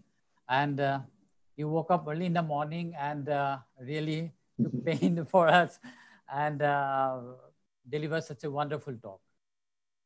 And the brain behind this talk is our uh, Honorable Director and Vice Chancellor, Dr. Gopal Krishna. Uh, sir, uh, heartfelt thanks to you for organizing this and guiding us to conduct this program successfully. The pillar behind this program is uh, Dr. Joint, uh, our Joint Director and Pedagogy Component Leader, Dr. N.P. Sahu. And we extend our heartfelt thanks to you, Sahu, sir. I thank all the participants, especially the faculty members, students. I have seen many CIFE alumni and also students and alumni of different fisheries colleges across the country. So I thank everyone for taking part in the uh, discussion also. And I have no words to thank our pedagogy team uh, members, especially Dr. Shashibhushan, Dr. Saurav, Dr. Shamna, uh, Mr. Bumaya, then uh, and also Dr. Mujahid Pathan for timely help in conducting this program. Special thanks to our IT group uh, for arranging the uh, lectures. Last but not the least, I thank the National Director and National Coordinator of NAHEP New Delhi and the entire CIFE NAHEP team, including the Nodal Officer, Dr. Gayatri Tripathi, for their guidance and help. And uh, finally, I thank one and all present here and uh, wish you a very good night and wish Dr. Thomas a very good day. Thank you. Thank you so much, Dr. Thomas. Thank you. Thank, thank you very much. Thank you very much. Thank you, thank you very much. Thank you, thank you, thank you very much. And all the Have a best for everyone. I- Stay safe, eh? everyone. Please stay safe. You too, Thank you too, thank you too take You- care and you stay safe. Yeah. Okay. Thank you. Okay, have a good Thank good you day. very much. I will answer here. Uh,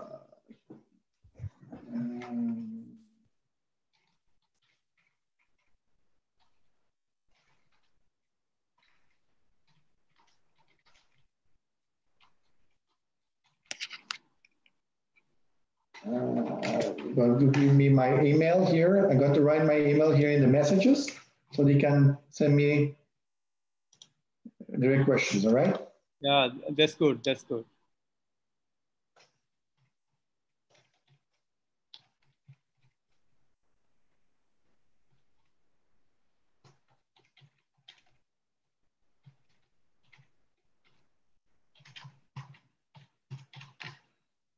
All right, I'm going to be, give you my private email. Sure. All right.